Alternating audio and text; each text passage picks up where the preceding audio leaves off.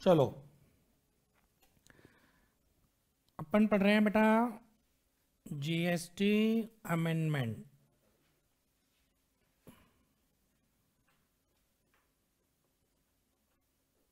relevant for मई चौबीस, नवंबर चौबीस एज द केस में भी ठीक है ना?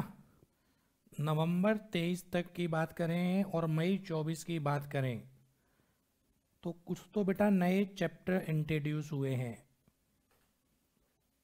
अमेंडमेंट नहीं है, ये चैप्टर ही नए इंट्रोड्यूस हुए हैं। सबसे पहला chapter place of supply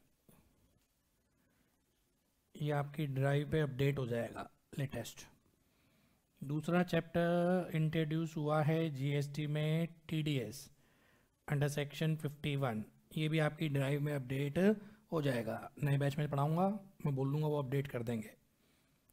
TCS under section 52 full form लिखना चाहो TDS tax deduction at source section 51 TCS tax collection at source under section 52 और चौथा बेटा accounts and records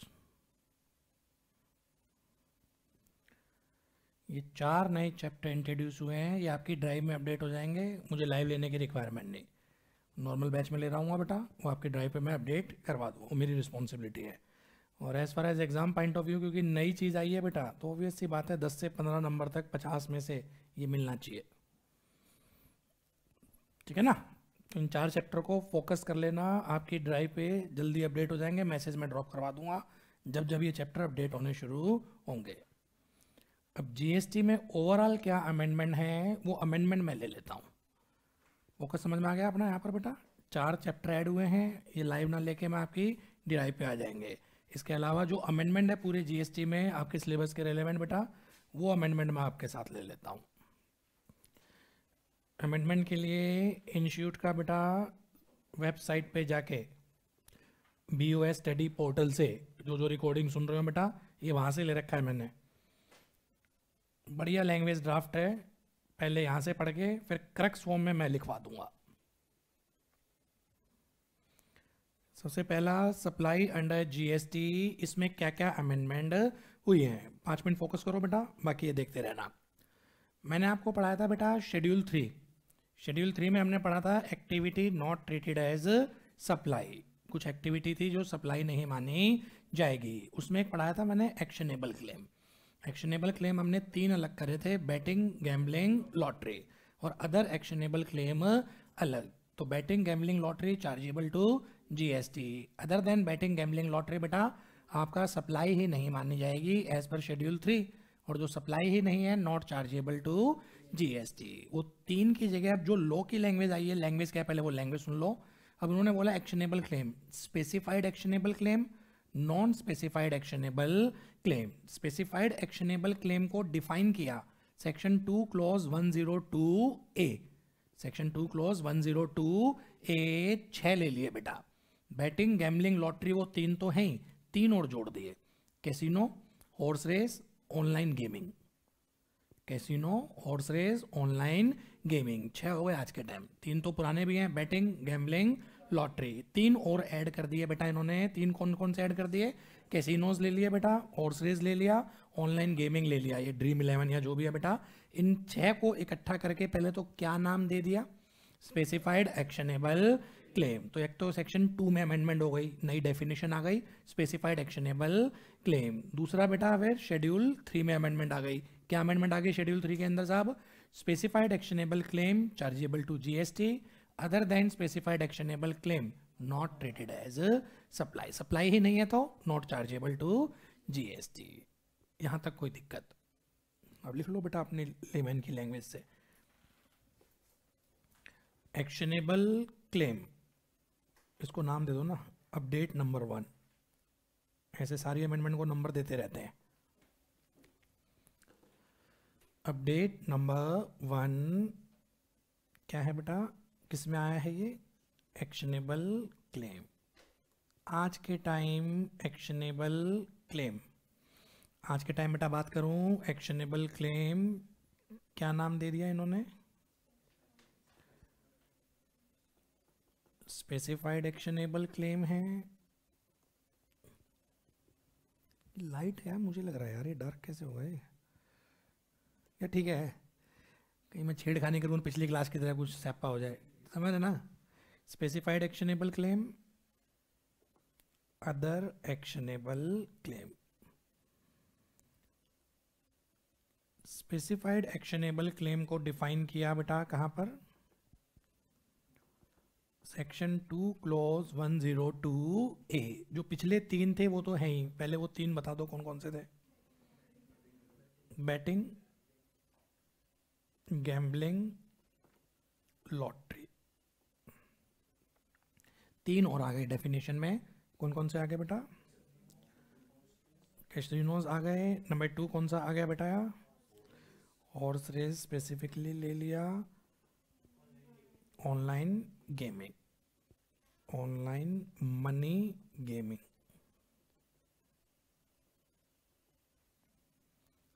online money gaming की भी अपनी अलग से डेफिनेशन दे दी इन्होंने section two clause eighty A अभी पढ़ा देता हूँ क्या है। फ़िलहाल जो मेजर चीज़ है तो पहली अमेंडमेंट तो क्या हो गई बेटा आपकी? सेक्शन टू में हो गई। ऊपर ध्यान दो, पहली अमेंडमेंट किसमें हो गई? सेक्शन टू ऐसे बोल दो दो नई डेफिनेशन आ गई। सेक्शन टू में क्या अमेंडमेंट हुई है जी? दो नई डेफिनेशन आ गई। कौन सी आ गई? Specified actionable claim specified actionable claim में कितने हुए छः betting gambling lottery horse race casino और आपका बेटा कौन सा आ गया लास्ट में? ऑनलाइन मनी गेमिंग और दूसरी बेटा ऑनलाइन मनी गेमिंग को भी इन्होंने क्या कर दिया? डिफाइन कर दिया। तो डेफिनेशन तो अभी देखता हूँ। फ़र्क क्या पड़ेगा? स्पेसिफाइड एक्शनेबल क्लेम आज के टाइम केवल इनके ऊपर जीएसटी है।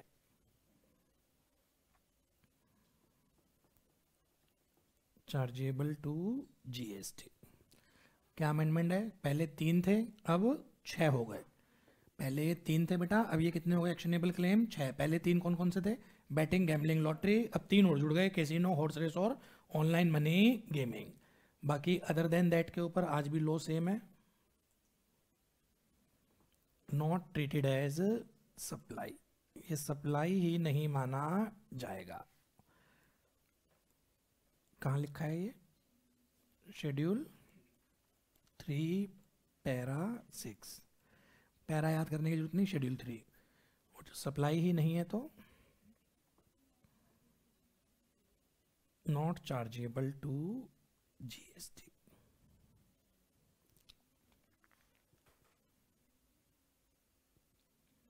ठीक?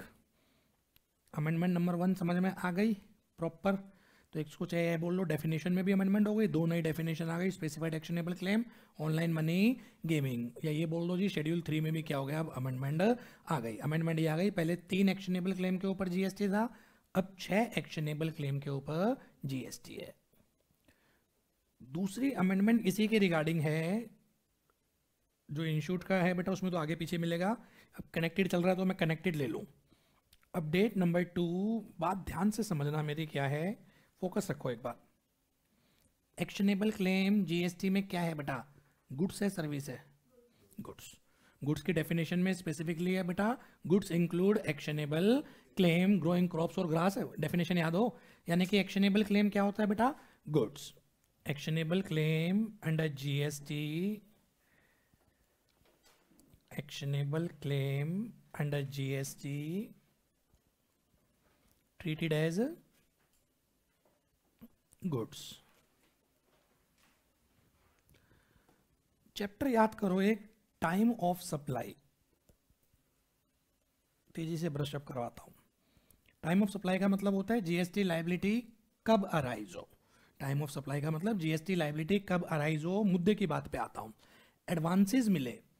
या तो गुड्स के केस में एडवांस मिलेंगे, या सर्विस के केस में एडवांस मिलेंगे। सर्विस के केस में एडवांस मिलता था। तो जीएसटी लाइबिलिटी अराइज होती थी। मैंने अभी पढ़ाना भी शुरू नहीं करा बैच अनाउंस ही हुआ है फ़ी आ गई। मेरी जीएसटी लाइबिलिटी क्या हो जाएगी बच्चे? अराइज हो जाएगी। सर्विसेज़ के केस में एडवांस बेसिस पे लाइबिलिटी अराइज हो जाती है। गुड्स के केस में क्या लो था बेटा? जब गुड्स सप्लाई होंगे नालायक गुड्स के केस में एडवांस के ऊपर कभी भी लाइबिलिटी नहीं आती थी। मैंने बेटा एक एडवांस मिल गया मुझे पचास लाख रुपए का, मुझे चेयर सप्लाई करनी है एडवांस मिला है। उसके ऊपर मुझे जीएसटी नहीं देनी होती थी। वो जब चेयर एक्चुअली में सप्लाई होंगी मेरे एग्ज़ाम्पल में, उस टाइम मैं क्या करूँगा बेटा? जीएसटी पे करूँगा। याद आ रहा है? याद आ रहा है? ऐसे हाँ कर रहे हो? सर ने बोला, चलो हाँ ही कर दो। क्या बहस करें? सर्विस के केस में एडवांस बेसिस पे लाइबिलिटी अराइज हो जाती है। गुड्स के बेसिस पे बेटा सप्लाई बेसिस पे लाइबिलिटी अराइज होती है। अब दिक्कत ये आ रही थी एक्शनेबल क्लेम गुड्स है। लॉटरी से खिलाता हूँ, आपको एग्ज़ाम्पल देता हूँ, फिर समझ में आएगा। गवर्नमेंट ऑफ़ महाराष्ट्र स्टेट का मैटर है लॉटरी गवर्नमेंट ऑफ़ महाराष्ट्र ने आज एक लॉटरी अनाउंस करी, जिसका रिज़ल्ट आएगा, आज क्या तारीख है? 21 फरवरी, जिसका रिज़ल्ट आएगा 10 अप्रैल को। तो लोग बाग पहले से ही लॉटरी परचेज करना शुरू कर देते हैं। पैसा पहले आ गया, क्या जीएसटी लाइबिलिटी अराइज होगी? लॉटरी क्या है? गुड्स गुड्स का रिज़ल्ट तो कब आएगा? लॉटरी का रिज़ल्ट कब आएगा? मेरे एग्जांपल में 10 अप्रैल लेटेस्ट से।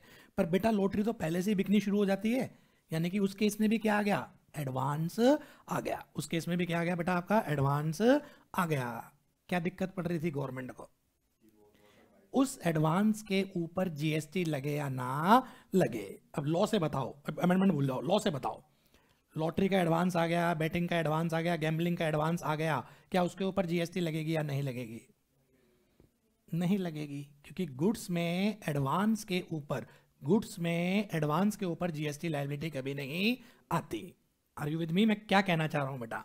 सर्विस के केस में एडवांस बेसिस पे लाइबिलिटी है गुड्स के केस में एडवांस बेसिस पे लाइबिलिटी नहीं है। अब समस्या ये पड़ रही थी, बेटा एक्शनेबल क्लेम गुड्स है। पर ये बाय एंड लार्ज ये भी क्या आ रहे हैं साहब? एडवांस में आ रहे हैं। कुछ तो एक्शनेबल क्लेम है ऑन द स्पॉट कुछ तो actionable claim on the spot horse race पे बैठा हूँ, आज ही पैसा लगाया, आज ही निपट जाएगा। फिर तो कोई दिक्कत ही नहीं है, वहाँ तो एडवांस नहीं है। Lottery is the perfect example वो हमेशा ही एडवांस में होता है। तो लो चाहता है एक्शनेबल क्लेम में रिसीट बेसिस पे टैक्स लगाएँ। लो की इंटेंशन मैं निर्मला सीतारमन बेटा, मेरी इंटेंशन ये है कि मैं इसको रिसीट बेसिस पे टैक्सेबल करूँ। मैंने ड्राफ्ट मैन बुला लिए, ये लो ड्राफ्ट करने वाले इधर आ जाओ भाई। बाकी गुड्स को मत छेड़ना। बाकी गुड्स में एडवांस बेसिस पे क्या नहीं है साहब? आपका टैक्स नहीं है। पर हम एक्शनेबल क्लेम में मैं चाहती हूँ चाहती हूँ मतलब मैं निर्मला सीतारमन हूँ। मैं चाहती हूँ कि एक्शनेबल क्लेम के ऊपर क्या लग जाए साहब? एडवांस बेसिस पे टैक्स लग जाए तो ड्राफ्टमैन को बुलाओ, उनको बोलो लॉ ड्राफ्ट करें। क्या ड्राफ्ट करोगे? वही अमेंडमेंट है। बोलो एक्शनेबल क्लेम आज के टाइम बेटा ये रिसीट बेसिस पे टैक्सेबल है। Advance receive against actionable claim is chargeable to GST other goods other than actionable claim आज भी सप्लाई बेसिस पे है। पूरी गुड्स रिसीट बेसिस पे नहीं आ गई एडवांस बेसिस पे। चेयर है प्रोजेक्टर है लैपटॉप है, इसके अगर रिगार्डिंग मुझे एडवांस मिला है, कोई जीएसटी नहीं देनी। इसके अलावा अगर एक्शनेबल क्लेम है बेटा, उसके रिगार्डिंग मुझे एडवांस मिला है चार्जेबल टू जीएसटी नहीं आया। क्या नहीं आया? लेट आया है नालायक रिकॉर्डिंग सुन लियो अब तू। समझ में आ गया क्या कह रहा हूँ? तो क्या लिखे इसको? Goods actionable claim other than actionable claim सुन लो ना एक बार। एक्शनेबल क्लेम वाली जो गुड्स हैं, इसमें बेटा GST liability arises on advance basis other goods पुराना लो। क्या था पुराना law? GST liability arise on supply basis no GST on advance ये कौन से चैप्टर ने करा है बेटा अमेंडमेंट टाइम ऑफ़ सप्लाई यहाँ आई थिंक इंस्टीट्यूट से बेटा टाइपिंग एरर है। क्या है? अमेंडमेंट तो उन्होंने डाली है, पर चैप्टर का नाम डाल दिया वैल्यू पता नहीं क्यों डाला है। मैंने नहीं बेटा इंस्टीट्यूट की वेबसाइट से ले रखा है मैंने तो। तो वैल्यू में चेंज नहीं है ये। ये बिल्कुल थ्योरी बिल्कुल ठीक लिखी है। कि एक्शनेबल सप्लाई पे अब लाइबिलिटी किस पे आ जाएगी? रिसीट बेसिस पे। हेडिंग नालायकों ने छत गल डाल दी वैल्यू वो टाइम क्या होना चाहिए? टाइम ऑफ़ सप्लाई बोलना आप जरा, फिर लिखना बेटा, पहले बोलो। क्या अमेंडमेंट आई है? अमेंडमेंट आई है टाइम ऑफ़ सप्लाई में। पहले क्या था बेटा? पूरा पूरा लो बताओ ताकि रिवाइज भी हो जाए। सर्विस के केस पहले सर्विस ले लेते हैं। सर्विस के केस में आज भी और पहले भी रिसीट बेसिस पे एडवांस बेसिस पे ही जीएसटी लाइबिलिटी आ जाती है। गुड्स के केसेस में कभी भी एडवांस बेसिस पे जीएसटी लाइबिलिटी नहीं आती लो वेट करता था जब तक सप्लाई नहीं होती। पर आज के टाइम गुड्स के दो हिस्से हो गए। एक्शनेबल क्लेम अलग अदर देन एक्शनेबल क्लेम अलग। एक्शनेबल क्लेम पे बेटा एडवांस बेसिस पे जीएसटी लाइबिलिटी आ जाएगी। अदर देन एक्शनेबल क्लेम आज भी पुराना लो है। क्या है बेटा? Only on supply basis not on receipt basis अब तो आ गया होगा नालायक समझ में। चलो, लिखो अब time of supply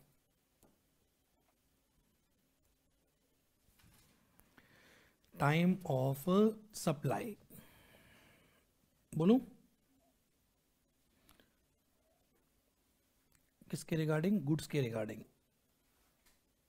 goods actionable claim अलग. क्या हो रहा है? एक्शनेबल क्लेम अलग अदर गुड्स अलग। पहले अदर गुड्स का लो बताओ। अदर गुड्स का लो बताओ, जो पहले था वही अब है। No GST liability on advances no GST liability on advances इसमें बताओ बेटा, ये अमेंडमेंट है। कलर चेंज कर दो। G S T liability shall arise on advances also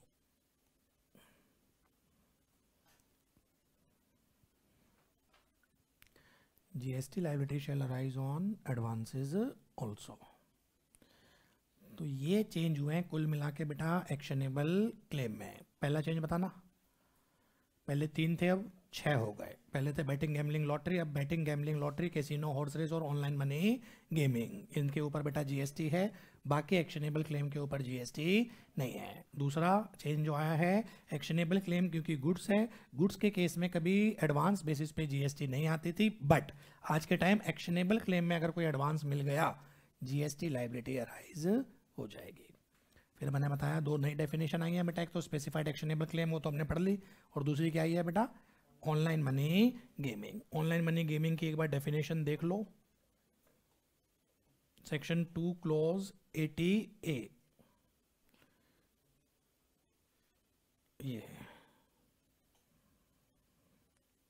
नई चीज़ है, क्या पता ना आ जाए बेटा, यूँ का यूँ।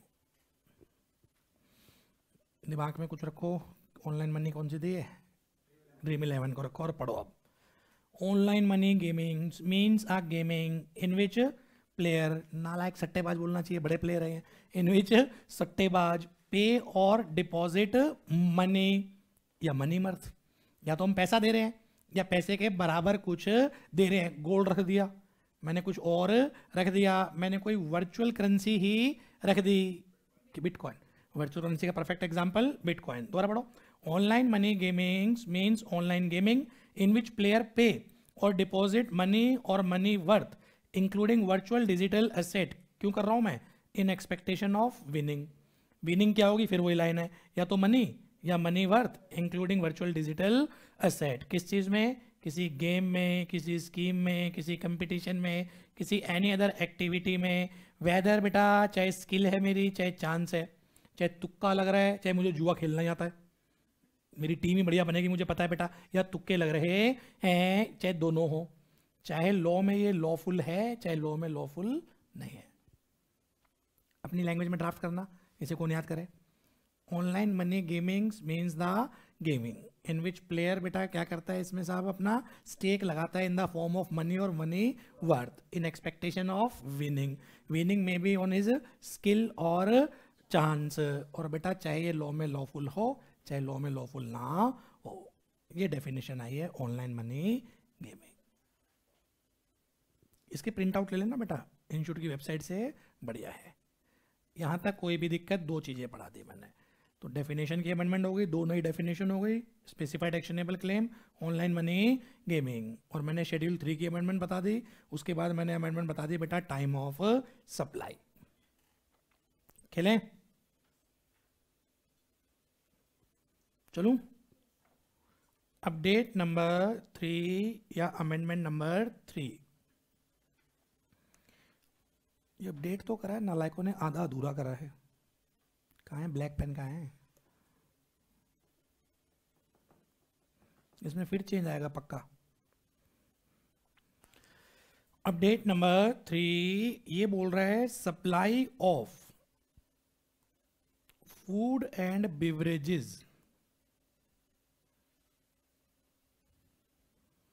at cinema hall बस, केवल किसको कवर करा है इन्होंने? सिनेमा को। सिनेमा हॉल में जो भी फ़ूड एंड बिवरेजेस है अमेंडमेंट क्या आई है? आज के टाइम बेटा ये रेस्टोरेंट सर्विस माना जाएगा।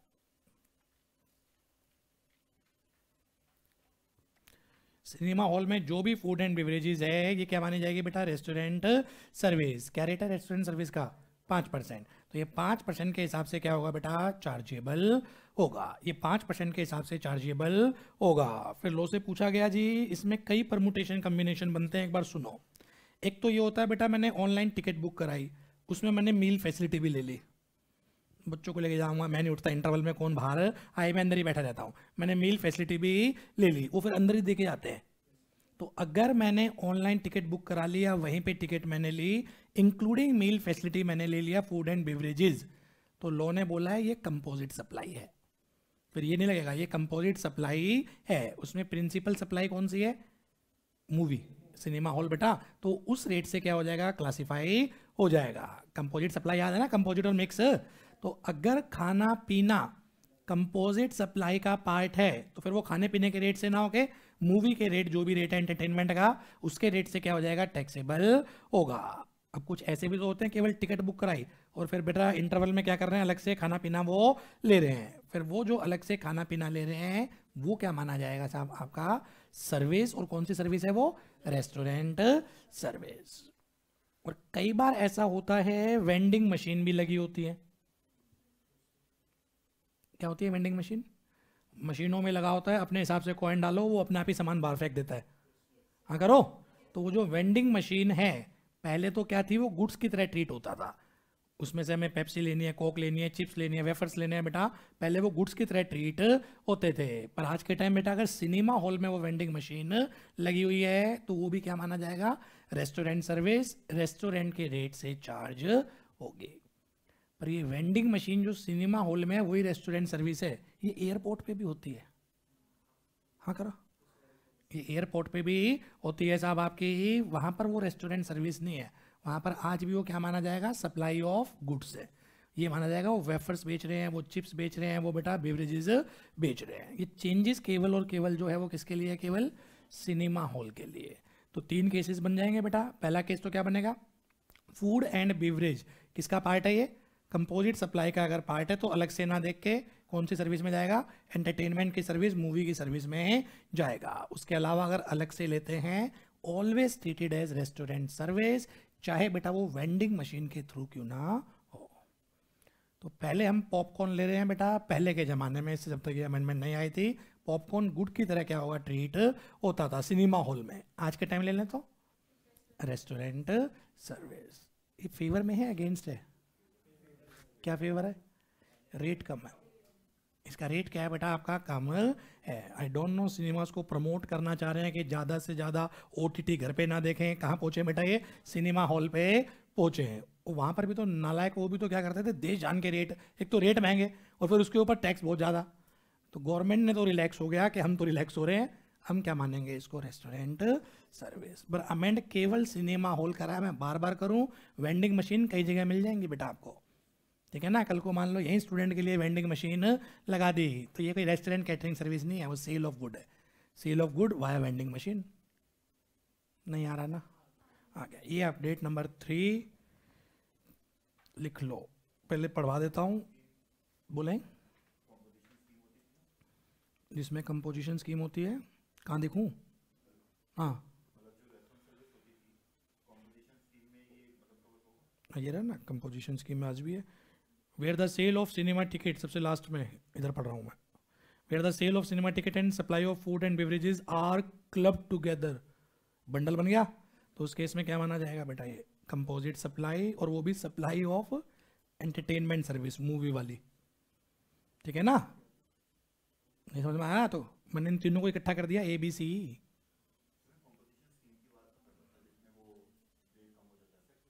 अच्छा कंपोजिशन सप्लायर मुझे लगा ये वाले। उसमें क्या इसकी क्वेश्चन क्या है? सिनेमा हॉल वाला अगर कंपोजिशन में है? बच्चे का क्वेश्चन अगर सिनेमा हॉल वाला कंपोजिशन में है कंपोजिशन में भी था एक रेस्टोरेंट एंड कैटरिंग ऑल दो मुझे लगता नहीं सिनेमा हॉल वाला कंपोजिशन में होगा, क्योंकि कंपोजिशन कहीं पिछहत्तर या डेढ़ करोड़ है। इतना तो उनके एक हफ़्ते में घूम जाती होगी टर्नओवर पर फिर भी एक बार हाइपोथेकेट अगर मैं ले लूँ तो वो तो वैसे ही रेस्टोरेंट एंड कैटरिंग था पहले, और यहाँ पर भी होगा तो वैसे ही रेस्टोरेंट है। रेट उसका तो वही रहेगा। पाँच परसेंट था ना वहाँ पर? तो इसको ऐसे लैंग्वेज में देखें या सिंपल देखें? सिंपल लैंग्वेज में लिखना हो तो लिख लो। Food and beverages club together with movie ticket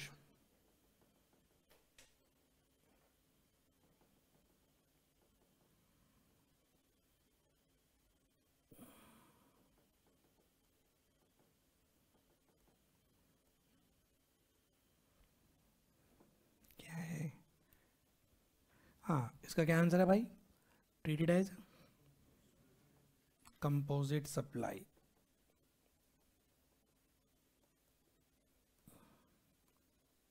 क्या फ़र्क पड़ेगा? प्रिंसिपल सप्लाई क्या मानी जाएगी? मूवी तो अगर रेट 18 है, पूरा बंडल 18 पे आ जाएगा। मूवी का मतलब एंटरटेनमेंट सर्विस पूरा बंडल किस पे आ जाएगा बेटा? प्रिंसिपल सप्लाई पे। Entire bundle shall be taxable with the rate of movie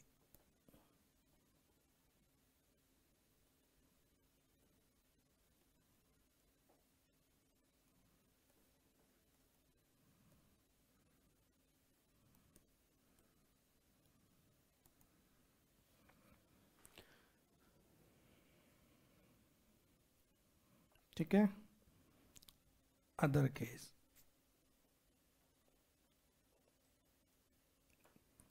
मतलब मूवी टिकट के साथ नहीं, अलग से फ़ूड एंड बेवरेजेस अलग से फ़ूड एंड बेवरेजेस तो always stated as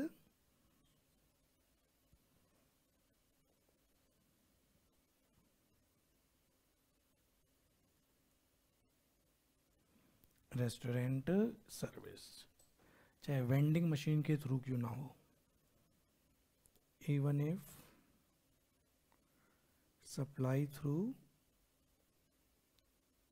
vending machine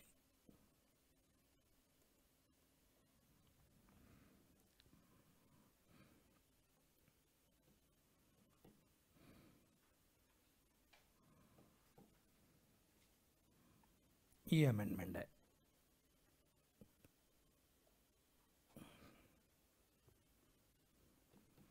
find up हुआ बेटा ये अपडेट नंबर थ्री कोई क्वेरी आपकी तरफ़ से नहीं, मैं आगे लेके चलूँ। कहीं किसी नोट में डालना चाहो, वो भी डाल दो। खाली सिनेमा हॉल कवर है और कुछ कवर नहीं है।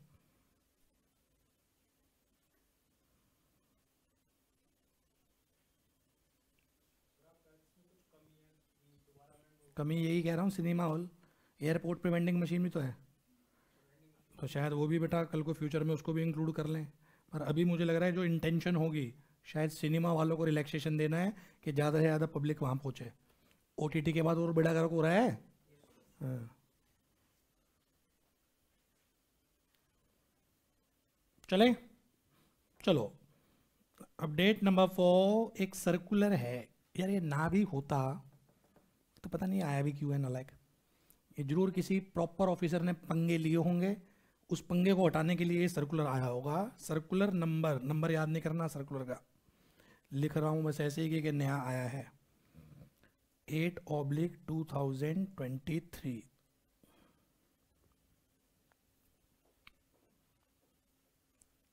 goods के केस में होता है H S N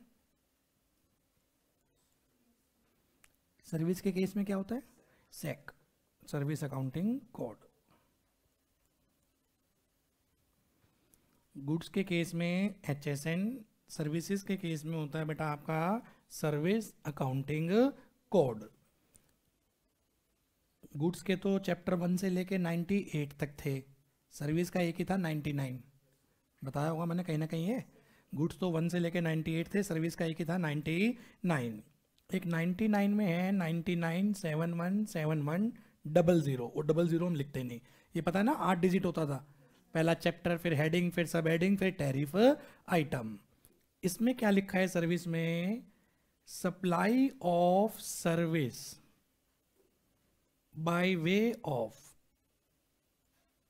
acquiring shares by holding company in subsi company.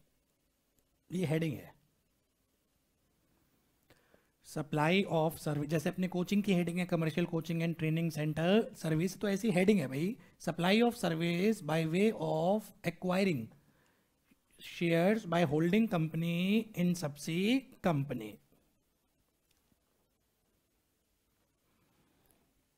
ये होल्डिंग लिमिटेड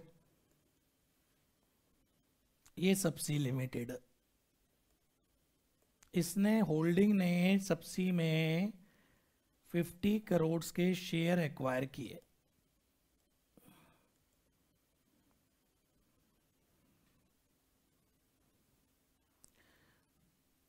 एसएससी क्या कह रहा होगा और पीओ क्या कह रहा होगा? कोई दिक्कत होगी तभी तो सर्कुलर आया है। तो दोनों का व्यू समझते हैं। तो फिर आप बताना किसका व्यू ठीक है। क्या पता मैं ही गलत सोच रहा हूँ। मैं दोनों का व्यू बताता हूँ। एसएससी कह रहा है शेयर्स एक्वायर करना। ट्रांजैक्शन इन सिक्योरिटी है। और ट्रांजैक्शन इन सिक्योरिटी गुड्स की डेफिनेशन से भी बाहर है, सर्विस की डेफिनेशन से भी बाहर है। डेफिनेशन याद है? Goods means every kind of movable property other than money and security and include actionable claim, growing crops, blah blah blah. यानी कि सिक्योरिटी मनी, गुड्स की डेफिनेशन से भी बाहर, उधर सर्विस की definition, service means anything other than goods, money, security. Security पे आ जाते हैं। सिक्योरिटी गुड्स की डेफिनेशन से भी बाहर, सर्विस की डेफिनेशन से भी बाहर। एसएससी कंटेंशन, ओ भाई, शेयर खरीदना, ये क्या नहीं है साहब? सिक्योरिटीज हैं, सिक्योरिटीज आपकी गुड्स भी नहीं है, सर्विस भी नहीं है। मैं उसके ऊपर क्या नहीं करूँगा साहब? जीएसटी पे नहीं करूँगा, क्योंकि सिक्योरिटी स्पेसिफिकली दोनों ही डेफिनेशन से बाहर है। पीयू क्या कह रहा है? नहीं नहीं, सर्विस अकाउंटिंग कोड है। सर्विस अकाउंटिंग कोड में एक ये है, वहाँ स्पेसिफिकली लिखा है supply of service. Holding company ने सबसे में अगर शेयर एक्वायर करे तो ये क्या मान लिया जाएगा जी? यही सप्लाई ऑफ़ सर्विस माना जाएगा। ये किसका व्यू होगा? पीओ का। भाई, झगड़े होंगे तभी तो सर्कुलर आया है। तो पीओ कह रहा है, ना ना, एक एंट्री ही बना रखी है स्पेशल उस स्पेशल एंट्री का नाम क्या है? Supply of services by way of acquiring share by holding in subsi. Holding ने सबसी में शेयर ले लिए। यही चीज़ क्या मान ली जाएगी साहब आपकी? यही चीज़ आपकी सर्विस मान ली जाएगी। एसएससी कह रहा है nonsense H S N और एस एस सी तो तब देखते हैं जब मेरे ऊपर टैक्सीबिलिटी आए। अगर कोई मेरे ऊपर टैक्सीबिलिटी ही नहीं है, ऐसे तो H S N code liquor का भी होगा पेट्रोल का भी होगा डीजल का भी होगा। एच एस एन कोड तो होने तो सबके ही है तो पर मैं इनको देखूँगा थोड़ी ना। ये तो है ही non taxable supply H S N से टैक्सीबिलिटी थोड़ी ना होती है। टैक्सीबिलिटी के बाद एच एस एन देखते हैं। एच एस एन से टैक्सीबिलिटी नहीं है बेटा। कल को यार एच एस एन में ह्यूमन आ गए। ह्यूमन ट्रैफिकिंग मैं घर से बच्चे उठा के बेच रहा हूँ। तो उसके ऊपर जीएसटी लगे या ना, लगे। ओ भाई तो उससे थोड़ी ना एचएसएन से डिटरमाइन होगा। ये तो टैक्सीबिलिटीज के बाद एचएसएन पे जाते हैं। पीओ उल्टा लेके आ रहा है। वो कह रहा है, नहीं, क्योंकि एसएससी में है। हम तेरी क्या मानेंगे? सर्विस मानेंगे। ये झगड़े चल रहे होंगे इंडस्ट्री में बेटा। तू दोनों की कंटेंशन बता पहले। तू गर्दन ज़्यादा हिला रहा है। ज़्यादा गर्दन हिलने का मतलब भी समझ में नहीं आ रहा। एसएससी क्या कह रहा होगा?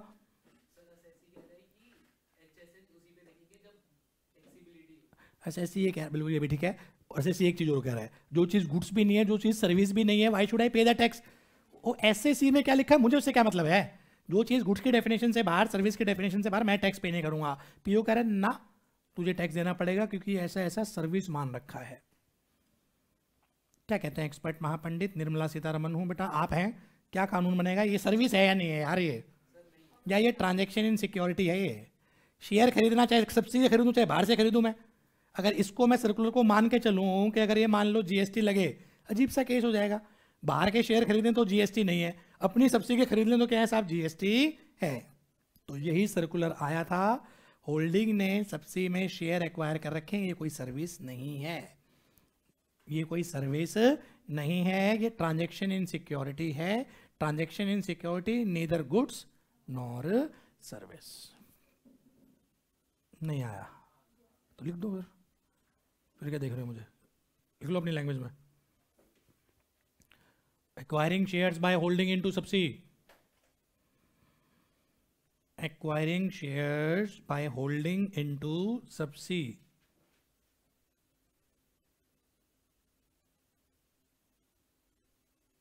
shall not treated as supply of service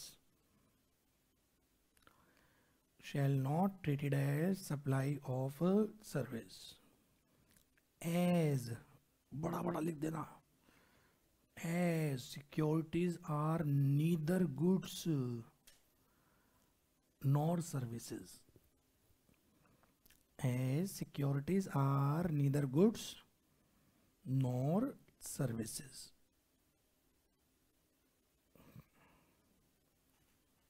ठीक है भाई तो ये अगर हम इंस्टीट्यूट ने बेटा जो ये दिए हैं अपडेट्स, उसका पहला चैप्टर मैंने वाइंड अप करवा दिया।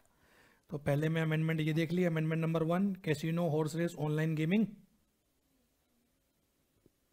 ये शेड्यूल थ्री के प्रिव्यू से बाहर तो इसका मतलब क्या है? जीएसटी लग गया। तो पहले तीन थे, अब छह। पढ़ा चुका हूँ। हो गया ये amendment nifty amendment number two supply of food and beverages at taxable as सीधा करक्स एक ही लाइन में करक्स आ रहा है भाई। ठीक है? तीसरा clarification on taxability of share held in subsi by holding क्या क्लैरिफिकेशन है भाई? नॉट ट्रीटेड एज सर्विस लिखवा दिया। इसके प्रिंट आउट ले लेना बेटा। लिखवा तो मैं रही हूँ लेमन की लैंग्वेज और अच्छी लैंग्वेज समझ में आ जाएगी आपके। चले आगे। चलो जी।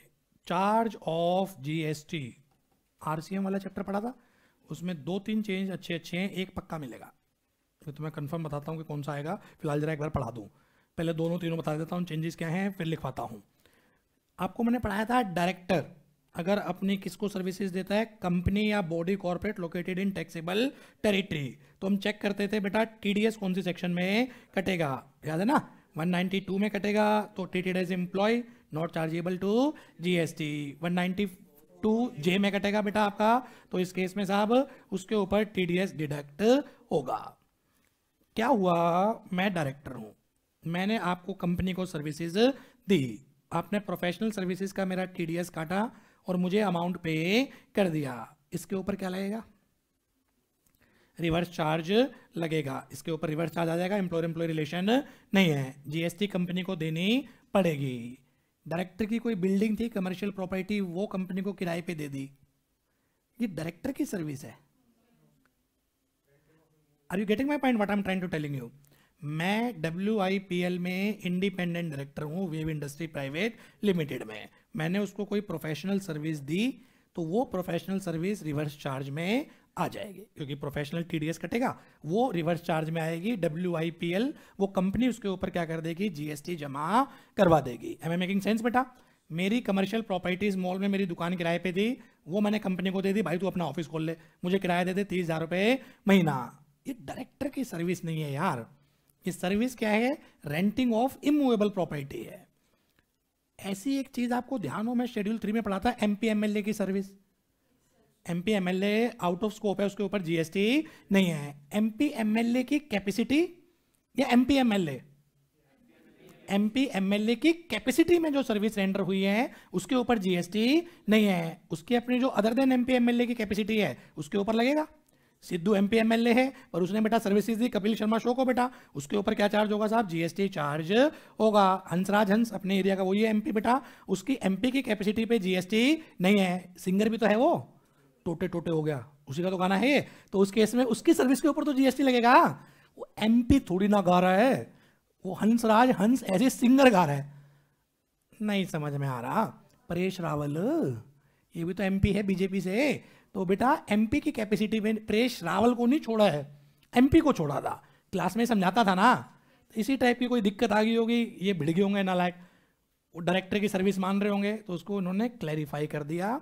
डायरेक्टर की डायरेक्टर की कैपेसिटी में जो सर्विस है, वो आरसीएम में है। बाकी जो कोई और सर्विस वो दे रहा है, वो बेटा आरसीएम के अंदर नहीं आएगी। डायरेक्टर की, डायरेक्टर वाली सर्विसेज़ आरसीएम में है। Any other services which is not in the capacity of director वो आरसीएम के अंदर नहीं है। जो आरसीएम नहीं होता, वो एफसीएम होता है। पढ़ो इंग्लिश में कितना सारा लिखा है, फिर इसका करक्स लिखवाता हूँ। उधर देखना मेरे क्या माथे पे लिखा है। उधर देख, ना like tax on service supplied by director और company body corporate to the said company और body corporate is payable by the company body corporate under R C M इतनी सारी इंग्लिश की हिंदी। डायरेक्टर ने कंपनी या बॉडी कॉर्पोरेट को service दी तो वो किसमें आएगी भाई? आरसीएम में आएगी। फिर ये बोल रहा है, हम क्लैरिफाई कर रहे हैं। It is clarified that service is supplied by director of company body corporate to company body corporate in his private personal capacity उसकी कोई बिल्डिंग थी वो उसने क्या कर दी साहब, किराए पे दे दी। वो डायरेक्टर की कैपेसिटी नहीं है, ये आरसीएम में नहीं आएगी। मैं कह रहा हूँ आरसीएम में नहीं आएगी, उल्टा मत पढ़ लेना एग्ज़ाम है। जो आरसीएम नहीं होता, वो क्या है? एफसीएम ये बोला है सर्कुलर नंबर तेरह ऑब्लिक दो हज़ार तेईस सर्कुलर का नंबर याद नहीं करना। अब एक लाइन में करक्स बताना।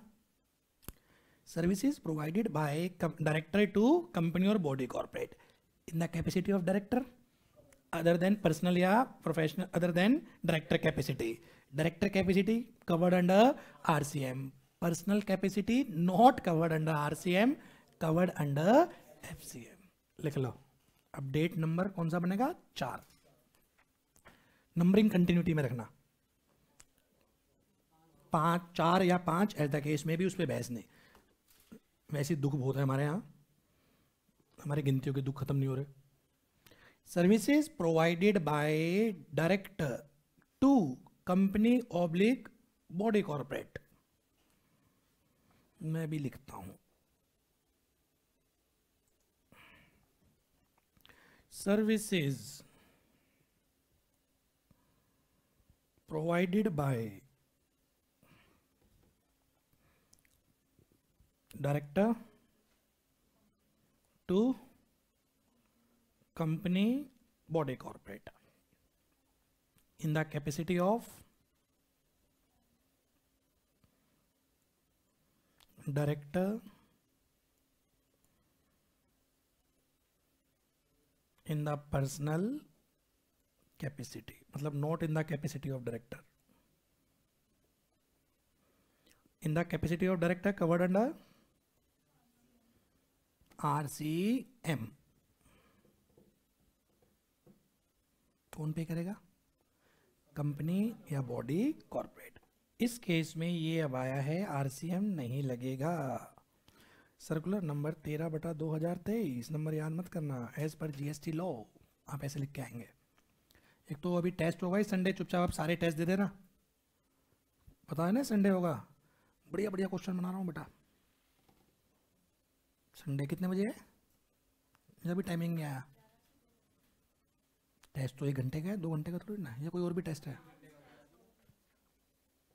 जो आरसीएम नहीं होता, वो एफ़ सी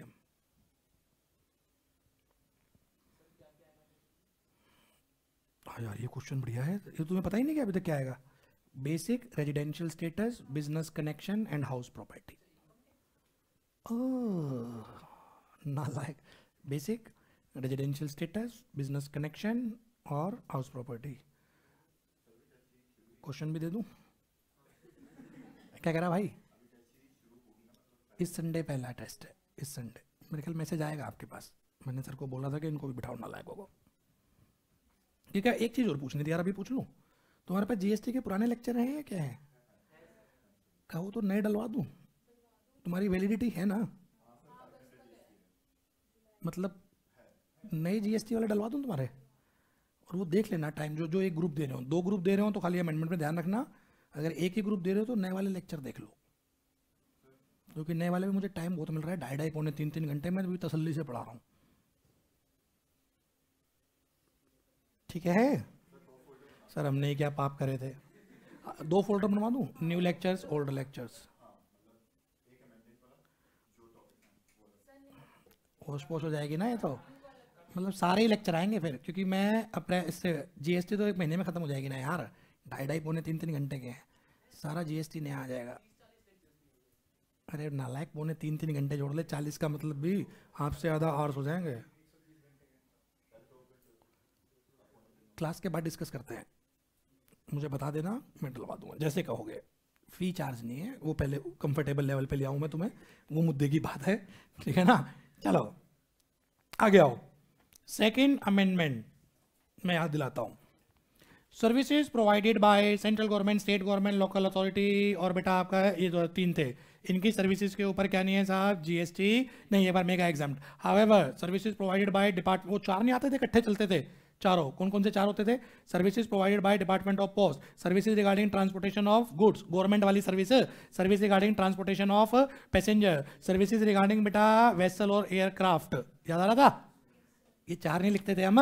इन चार पे हमेशा ही जीएसटी लगता था। बाकी गवर्नमेंट की जो सर्विस थी, उनके ऊपर लेटेस्ट से जीएसटी नहीं। ऐसा ही कुछ पढ़ाता था ना मेगा एग्जामेशन में और रिवर्स चार्ज में। चार कौन कौन से थे बोलना? डिपार्टमेंट ऑफ़ पोस्ट उसमें तो अमेंडमेंट भी आई थी। दस ग्राम वाली। याद आ रहा है ना, उसमें तो वो अमेंडमेंट भी थी। पता है ना वो तो? वो अमेंडमेंट नहीं अमेंडमेंट कुछ हो रहा है। वो तो मैं रिवाइज करा रहा हूँ अभी आपको। साहब डिपार्टमेंट ऑफ़ पोस्ट गवर्नमेंट की service in relation to transportation of goods मालगाड़ी गवर्नमेंट की service in relation to transportation of passenger कुछ भी हो सकता है बेटा गवर्नमेंट की services in relation to vessel और एयरक्राफ्ट याद है बेटा वहाँ पर वर्ड था केवल डिपार्टमेंट ऑफ़ पोस्ट उसके बाद आ गया साइड में इंडियन रेलवे यानी कि इंडियन रेलवे की सर्विस आज के टाइम हमेशा और टैक्सेबल है। इंडियन रेलवे की सर्विस आज के टाइम हमेशा और ये आवाज़ छूट जाएगी क्यों है हमारे साथ इतना? इंडियन रेलवे आज के टाइम हमेशा और हमेशा टैक्सेबल मैं आपको फॉर्मेट से दिखाता हूँ एक बार, फिर आपके समझ में याद आएगा। ऐसा ऐसा कुछ होता था। एक बार ये रेड वाला छोड़ देना। हम ऐसे नहीं पढ़ते थे सर्विस देने वाला ये। फॉरवर्ड चार्ज रिवर्स चार्ज नहीं पढ़ाता था यार। ये सर्विस हमेशा फॉरवर्ड चार्ज में आती थी, ये वाली। एक बार ये लाल वाला भूल जाना। डिपार्टमेंट ऑफ़ पोस्ट हमेशा forward charge transportation of goods transportation of passenger vessel और एयरक्राफ्ट हमेशा फॉरवर्ड चार्ज उसके अलावा बाकी गवर्नमेंट की जो भी सर्विस बचती थी, अगर रिसिपियंट बड़ा है और सर्विस भी बड़ी है, पाँच हज़ार से ऊपर वाली तो उस केस में जीएसटी लगता था, बाकी जीएसटी एग्ज़ाम होता था। याद है ना? जहाँ जहाँ डिपार्टमेंट ऑफ़ पोस्ट था, वहाँ पर ministry of railway Indian railway और आ गया। क्या फ़र्क पड़ेगा? पहला इंडियन रेलवे एक तो ये हमेशा आज के टाइम क्या हो जाएगा बेटा? टैक्सेबल हाँ दूसरा और क्या हो जाएगा बेटा आपका साहब? फॉरवर्ड चार्ज दूसरा किसमें आ जाएगा बेटा ये? फॉरवर्ड चार्ज अब रुको। कई सारी चीज़ इकट्ठी कर दो। आपने पढ़ा था डिपार्टमेंट ऑफ़ पोस्ट चाहे पाँच हज़ार से कम की सर्विस दे, चाहे पाँच हज़ार से ऊपर की सर्विस दे। याद है ये हमेशा टैक्सेबल है। याद हो तो गर्दन हिलाना। डिपार्टमेंट ऑफ़ पोस्ट चाहे पाँच हज़ार से कम की सर्विस दे, चाहे पाँच हज़ार से ऊपर की दे। ट्रांसपोर्टेशन ऑफ़ गुड्स चाहे पाँच हज़ार से कम हो, चाहे पाँच ये चार हो। चाहे पाँच हज़ार से कम हो, चाहे पाँच हज़ार से ज़्यादा हो, सर्विस रिसिपेंट चाहे बड़ा हो, सर्विस रिसिपेंट चाहे छोटा हो। ये हमेशा और हमेशा क्या होती थी साहब? टैक्सेबल होती थी। एम मेकिंग सेंस बेटा? अब आप बताओ क्या फ़र्क पड़ेगा? एक नई चीज़ क्या आ गई? Indian railway. अब इंडियन रेलवे, इसकी सर्विस क्या है साहब? टैक्सेबल है। चाहे पाँच हज़ार से कम चाहे पाँच हज़ार से ज़्यादा। सर्विस रिसिपेंट चाहे बड़ा हो सर्विस रिसिपेंट क्या हो चाहे साहब? छोटा। हो पर एक चीज़ याद रखना, जहाँ जहाँ इंडियन रेलवे को पहले एग्जामेशन थी, वहाँ वहाँ आज भी है। सर ये क्या मतलब? मैं एग्जामेशन भी साथ में ले रहा हूँ रिवर्स चार्ज के साथ साथ। पहले एग्जामेशन क्या थी? पहले आ जाओ transportation of passenger AC coach he taxable होता था नॉन एसी कोच टैक्सेबल नहीं होता था, वो आज भी टैक्सेबल नहीं है। ये मेरे राम। समझ में आ रहा है? ऐसे बेटा इंडियन रेलवे मालगाड़ी से सर्टेन गुड्स ट्रांसफ़र करते थे रिलीफ मटेरियल एग्रीकल्चर प्रोड्यूस याद आ रहा है? तो वो आज भी एग्ज़ाम है, उसमें कोई चेंज नहीं हुआ। चेंज क्या हुआ है? धीरे धीरे चलते हैं। पहले रिवर्स चार्ज वाले ले लेता हूँ।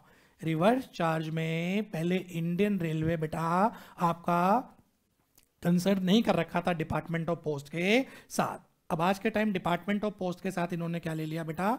इंडियन रेलवे को भी ले लिया। अब इंडियन रेलवे कभी भी रिवर्स चार्ज में नहीं आएगा। इंडियन रेलवे हमेशा किसमें आएगा बेटा? फॉरवर्ड चार्ज यहाँ तक समझ में आई? पहली अमेंडमेंट तो पहले तो इसी को कर लो तुम। पूरा डायग्राम बनवाऊं? पहले हम जो करते थे अपडेट नंबर हम करते थे services provided by central government state government local authority इसमें हम चार को अलग करते थे। इसमें हम चार को अलग करते थे। गर्दा के नोट्स देख लेना। डिपार्टमेंट ऑफ़ पोस्ट को अलग करते थे। Number two transportation of passenger service को अलग करते थे।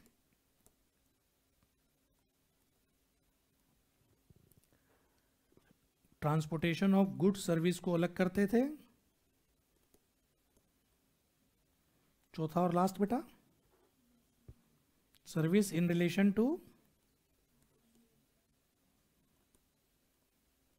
vessel और एयरक्राफ्ट तो मैंने आपको बताया था बेटा, इन केसेस में हमेशा फॉरवर्ड चार्ज लगता था। याद आ रहा है ना? बाकी जो इसके अलावा गवर्नमेंट की जो भी सर्विसेज़ बच गई। रेंटिंग ऑफ़ इमूवेबल प्रॉपर्टी को छोड़ के, उसकी एंट्री अलग से थी। रेंटिंग वाली में याद हो, हम चेक करते थे जीएसटी रजिस्टर्ड है या नहीं है। ठीक है ना? उसको हम अलग से चेक करते थे तो उसको छोड़ के। अदर सर्विसेज़ में किसको छोड़कर? Other than renting of immovable property.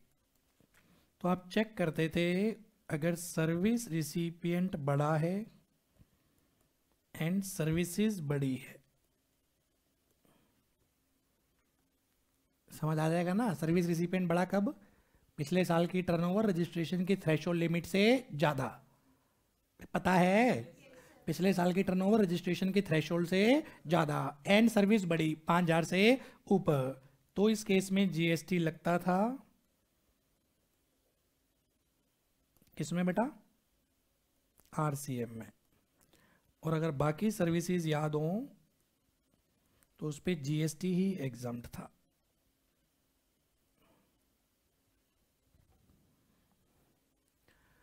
बाकी सर्विस में जीएसटी ही एग्ज़ाम था मेगा एग्जामेशन में। ये सब कुछ एज इट इज़ है। ये पुराना लो है कि आपको लगे कुछ अमेंडमेंट पढ़ा रहा हूँ। ये तो मैंने ब्रशअप करवाया है। चेंज क्या हुआ है? बस ये बताओ। डिपार्टमेंट ऑफ़ पोस्ट की तरह एक चीज़ और आ गई। इंडियन रेलवे अब आपको डायग्राम से समझ में आ जाएगा।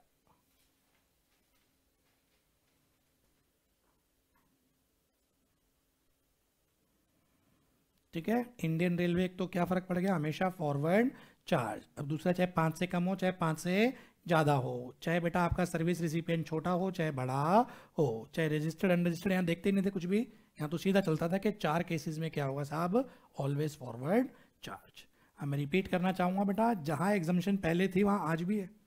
जैसे नॉन एसी कोच आज भी एग्जाम्ड है। ट्रांसपोर्टेशन ऑफ़ गुड्स में रिलीफ मटेरियल था न्यूज़पेपर थे, वो थे नहीं बेटा मिल्क थे आपके, वो आज भी क्या है? एग्ज़ाम है। ये समझ में आ गया इसके कारण डिफरेंस अब एक बार गवर्नमेंट की रेंटिंग वाली सर्विस और बताओ। फिर मैं चाहूँगा आप लोग खुद ड्राफ्ट करो। इसमें कोई दिक्कत भाई इस अपडेट में? रेंटिंग वाली सर्विस बताना गवर्नमेंट की रेंटिंग वाली। Renting of immovable property by government क्या लो था भाई पुराना? Renting of immovable property by government पुराना लो क्या था बेटा? हम देखते थे, ये है सर्विस प्रोवाइडर ऐसा ही डायग्राम बनवाता था मैं. Central government state government local authority कुछ कुछ ऐसे करते थे ना इसने इमूवेबल प्रॉपर्टी किराए पे दी. Renting of immovable property business entity को।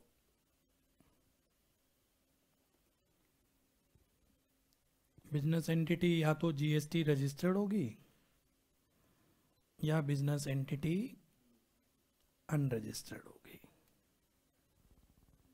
मैं एग्जांपल लेता था डीडीए मार्केट कुछ दुकानें उसमें रजिस्टर्ड है, कुछ दुकानें उसमें अनरजिस्टर्ड हैं। किराए पे देने वाला डीडीए किराए पे लेने वाले वो दुकानदार, अब हो सकता है दुकानदार रजिस्टर्ड हो हो सकता है दुकानदार अनरजिस्टर्ड हो। दुकानदार रजिस्टर्ड है तो? आरसीएम दुकानदार देता था। ठीक है? दुकानदार अनरजिस्टर्ड हो। एफसीएम ये पुराना लो है, ये अमेंडमेंट नहीं है। ये मैंने ब्रशअप करा दिया। और अगर other than business entity household को देते थे तो जीएसटी एग्ज़ाम ये लो था ना बेटा? ये डीडीए फ्लैट दे दिए हाउस होल्ड को तो डीडीए आपका क्या होता था? जीएसटी एग्ज़ाम मेरी बात ध्यान से सुनना, अगर लो पढ़ना आता है। इंडियन रेलवे किस पे आ गया?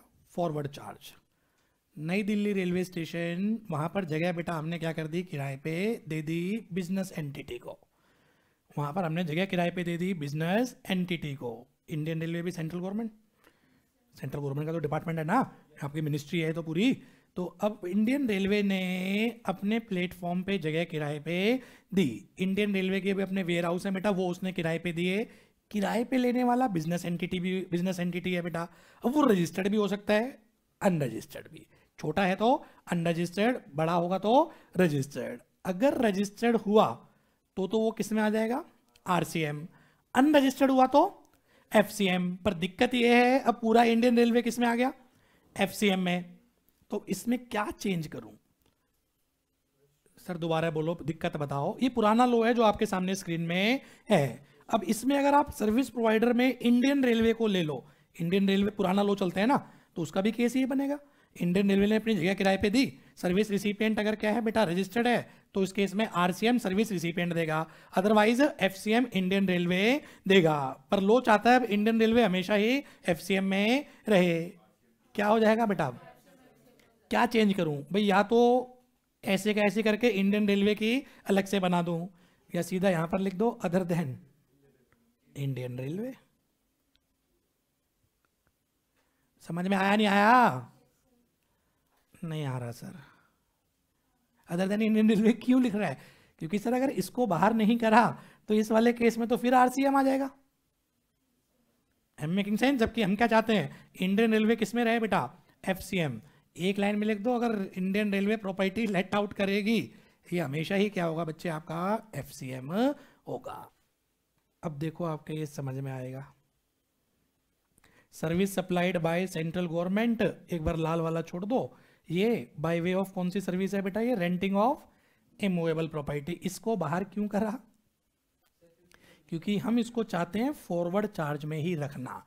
अगर यहाँ से बाहर ना करते तो वो भी सेंट्रल गवर्नमेंट है, इस एंट्री में फंस जाता। नहीं समझ में आ रहा। अब इसको एक काम करो, अब अलग से पकड़ लो इंडियन रेलवे। और इंडियन रेलवे के कॉम्बिनेशन बनाओ क्या क्या बनेंगे?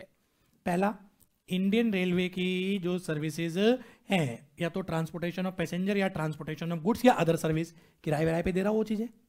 प्लेटफॉर्म पे जो किराए पे दे रहा है, वो ना ट्रांसपोर्टेशन ऑफ़ गुड्स है, ना ट्रांसपोर्टेशन ऑफ़ पैसेंजर है। वो तो उसकी क्या है साहब? अदर सर्विस मेकिंग सेंस अब जरा बताओ ट्रांसपोर्टेशन ऑफ़ गुड्स जो एग्जामेटेड वाली लिस्ट थी, वो पहले भी है, वो अब भी है। अदर देन एग्जामेटेड गुड्स क्या हो जाएगा बेटा? ऑलवेज एफसीएम उसमें कोई चेंज नहीं, पहले भी एफसीएम था, अब भी एफसीएम है, कोई चेंज नहीं। सर्विस चाहे पाँच हज़ार से कम हो, चाहे पाँच हज़ार से ज़्यादा हो। सर्विस रिसिपेंट चाहे छोटा हो सर्विस रिसिपेंट चाहे बड़ा हो। सेकंड पे आ जाओ इंडियन रेलवे की।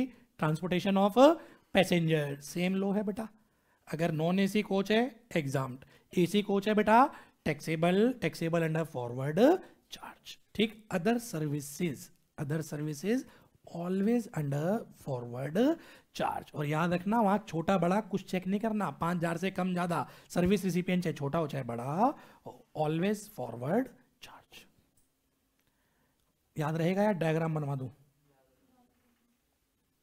याद रहेगा तो बेटा एक बार सुनाइए मैंने क्या बोला? तीन कैटेगरी बना लो। Goods passenger transportation of goods transportation of passenger और other services of Indian railway वो कुछ भी हो सकती है रेंटिंग भी या कुछ भी हो सकती है। ट्रांसपोर्टेशन ऑफ़ गुड्स वाली जो एग्जामेटेड सप्लाईज थी, वो तो आज भी एग्जाम्ट है। टैक्सेबल वाली टैक्सेबल होगी इंडियन रेलवे टैक्स पे करेगी। सर्विस रिसिपियन चाहे छोटा हो, चाहे बड़ा हो, चाहे पाँच हज़ार से कम हो, चाहे पाँच हज़ार से ज़्यादा हो, अलग कर दो। सेकंड बेटा गवर्नमेंट गवर्नमेंट को दे दो। ये भी मैं पढ़ा के आया था मेगा एग्जामेशन में। गवर्नमेंट अगर गवर्नमेंट को चार सर्विस देती थी department of post transportation of goods transportation of passenger service in relation to वेस्टलोर aircraft इसके ऊपर जीएसटी था, बाकी के ऊपर जीएसटी नहीं है। तो इंडियन रेलवे अगर बाकी मिनिस्ट्रीज को सर्विस देगा जीएसटी लगेगा। इंडियन रेलवे बाकी मिनिस्ट्रीज को सर्विस देगा तो जीएसटी चार्ज होगा। पहले फ़िलहाल गुड्स निपटा। पैसेंजर में सेम वही AC coach non AC coach AC coach taxable non AC exempt other services बेटा always taxable covered under forward charge recipient चाहे छोटा है, चाहे बड़ा है सर्विस चाहे पाँच हज़ार से कम की है, चाहे पाँच हज़ार से ज़्यादा की है। आई थिंक आ गया होगा अब तो समझ ओके रिपोर्ट ये खत्म हुआ बेटा, अपना इसके हिसाब से अगर चलें पाइन नंबर वन तो डायरेक्टर वाला था पाइन नंबर टू जो था, इसमें एक तो ये चेंज था। डिपार्टमेंट ऑफ़ पोस्ट के साथ क्या जुड़ गया बेटा? इंडियन रेलवे और दूसरा रेंटिंग ऑफ़ इमूवेबल प्रॉपर्टी में किसको बाहर कर दिया? इंडियन रेलवे क्यों बाहर करा? एग्ज़ाम के कारण नहीं, क्योंकि इसको हमेशा क्या रखना है? फॉरवर्ड चार्ज में। क्लियर है? ये वाला मैं कह रहा हूँ जो कि मिलेगा एग्ज़ाम में पक्का।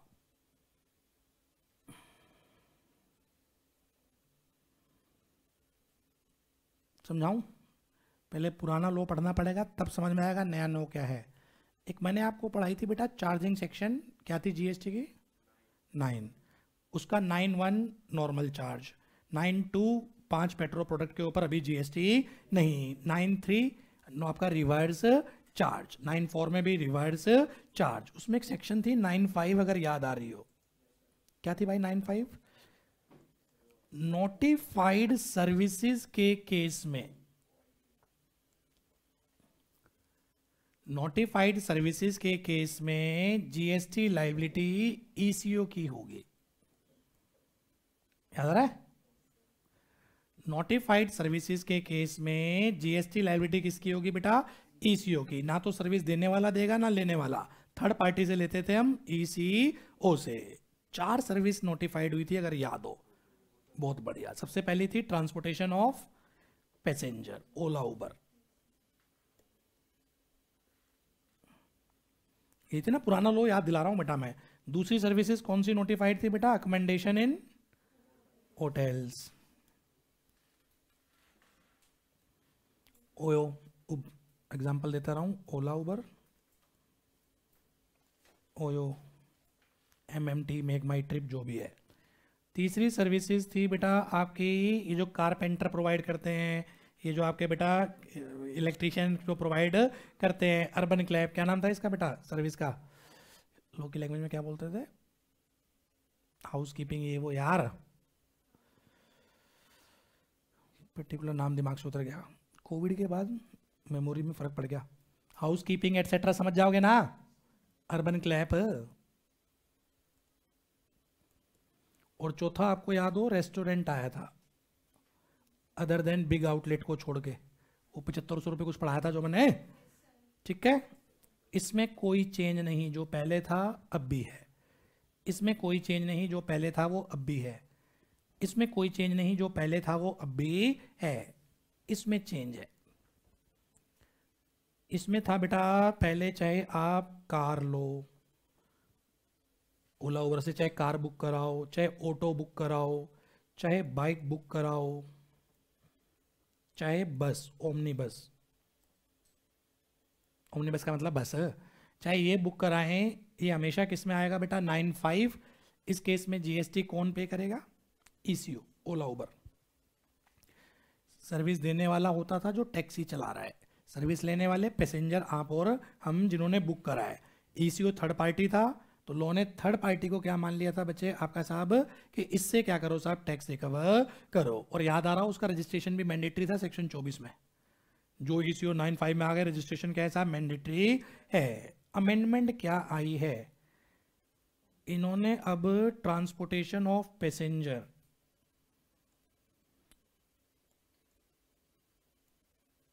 via ECO transportation of passenger service via ECO इन्होंने ओमनी बस इसको अलग करा, बाकी सबको अलग करा। क्या आ गया? Car, bike, auto?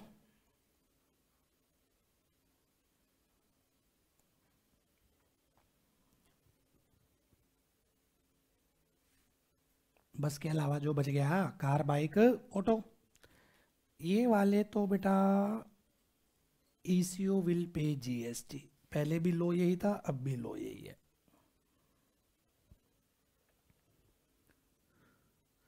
इसमें चेंज हुआ है। अगर ये omni bus owned by company है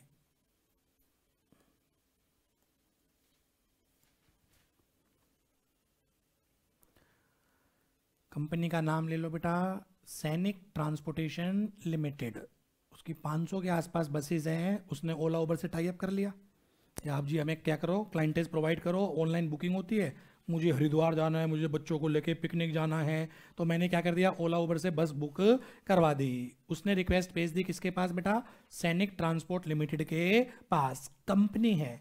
अगर ओमनी बस का ओनर कंपनी है तो लॉसेस कंपनी से ले लो। अब नाइन फाइव नहीं लगेगा। अगर ओमनी बस इसका बेटा ओनर कौन है साहब? कंपनी है। तो कंपनी से क्या कर लो बेटा? जीएसटी रिकवर कर लो। अदर देन कंपनी है तो पुराना लो। पुराना लो मतलब? ईसीओ विल पे जीएसटी तो क्या पूरा ट्रांसपोर्टेशन ऑफ़ पैसेंजर चेंज हो गया? ना। केवल ओमनी बस के रिगार्डिंग तो चार्ज ऑफ़ जीएसटी इसमें कुल मिला के चार चेंजेस हैं बेटा। पहला डायरेक्टर की डायरेक्टर वाली सर्विस रिवर्स चार्ज में पर्सनल वाली सर्विस रिवर्स चार्ज में नहीं है। नंबर टू जहाँ जहाँ डिपार्टमेंट ऑफ़ पोस्ट था, जहाँ पर भी पढ़ाओ, चाहे मेगा एग्जामेशन में, चाहे रिवर्स चार्ज में ओब्लिक क्या कर देना? इंडियन रेलवे यानी कि इंडियन रेलवे आज के टाइम हमेशा किसमें रहेगा बेटा? फॉरवर्ड चार्ज और नेक्स्ट बेटा renting of immovable property other than Indian railway renting of property by government other than Indian railway और चौथा अमेंडमेंट इसमें आई है बेटा ओमनी अगर कंपनी ओनर है तो तो क्या देगी बेटा कंपनी इसके ऊपर जीएसटी ओमनी का ओनर अदर देन कंपनी है तो आज भी नाइन फाइव से ही बेटा ये गवर्न होगा। आराम से चलो, भागम भाग मत रखना, कोई भी ifs and buts wind up हो गया बेटा ये भी। खेलें आगे चलें। नेक्स्ट अमेंडमेंट है प्लेस ऑफ़ सप्लाई में। प्लेस ऑफ़ सप्लाई वैसे तो पढ़ लिया होगा तुमने? ड्राइव में है तुम्हारी? हाँ जी update number eight place of supply याद है? सेक्शन टेन था गुड्स का। गुड्स के पाँच केस थे। One B bill to ship to model ten one C supply does not involve movement of goods ten one D goods taken on board a conveyance vessel vehicle air का ten one D था installation और assembly at site और ten one E ये क्या था बेटा आपका साहब goods taken on board a conveyance chapter नहीं पढ़ा गया मान के चला जाएगा, पढ़ रखा है। ठीक है ना? वैसे तो प्लेस ऑफ़ सप्लाई आपके ड्राइव में आएँगे। ये चार चैप्टर जो नए ऐड हुए थे place of supply TDS TCS और रिटर्न एंड रजिस्ट्रेशन रिको अकाउंट्स एंड रिकॉर्ड्स मैं अपडेट बताता हूँ क्या है। टेन वन ए था supply involve movement of goods लिखना मत। वो पहले भी था, वो अब भी है। Supply involve movement of goods supply ऐसी है जिसमें गुड्स की मूवमेंट इन्वॉल्व होगी टेन वन बी था बेटा, bill to, ship to model. Billing किसी और के नाम, शिपमेंट किसी और के नाम। Ten one C, supply involve, movement of goods. सुनने पे ध्यान देना, क्या चेंज आया है कि तो मैं वैसे लिखवा रहा हूँ, आपको चलो आगे भी लिखवा देता हूँ। टेन वन डी था बेटा गुड्स असेंबल्ड और इंस्टॉल्ड और टेन वन ई था goods sold out on conveyance पाँच मिनट में सारा रिवाइज करा देता हूँ। गुड्स की अगर सप्लाई की मूवमेंट इन्वॉल्व है तो place of supply destination based tax है बेटा। Place where movement of goods terminate place where movement of goods terminate ठीक? Bill to ship to model में किसी एक को याद हो?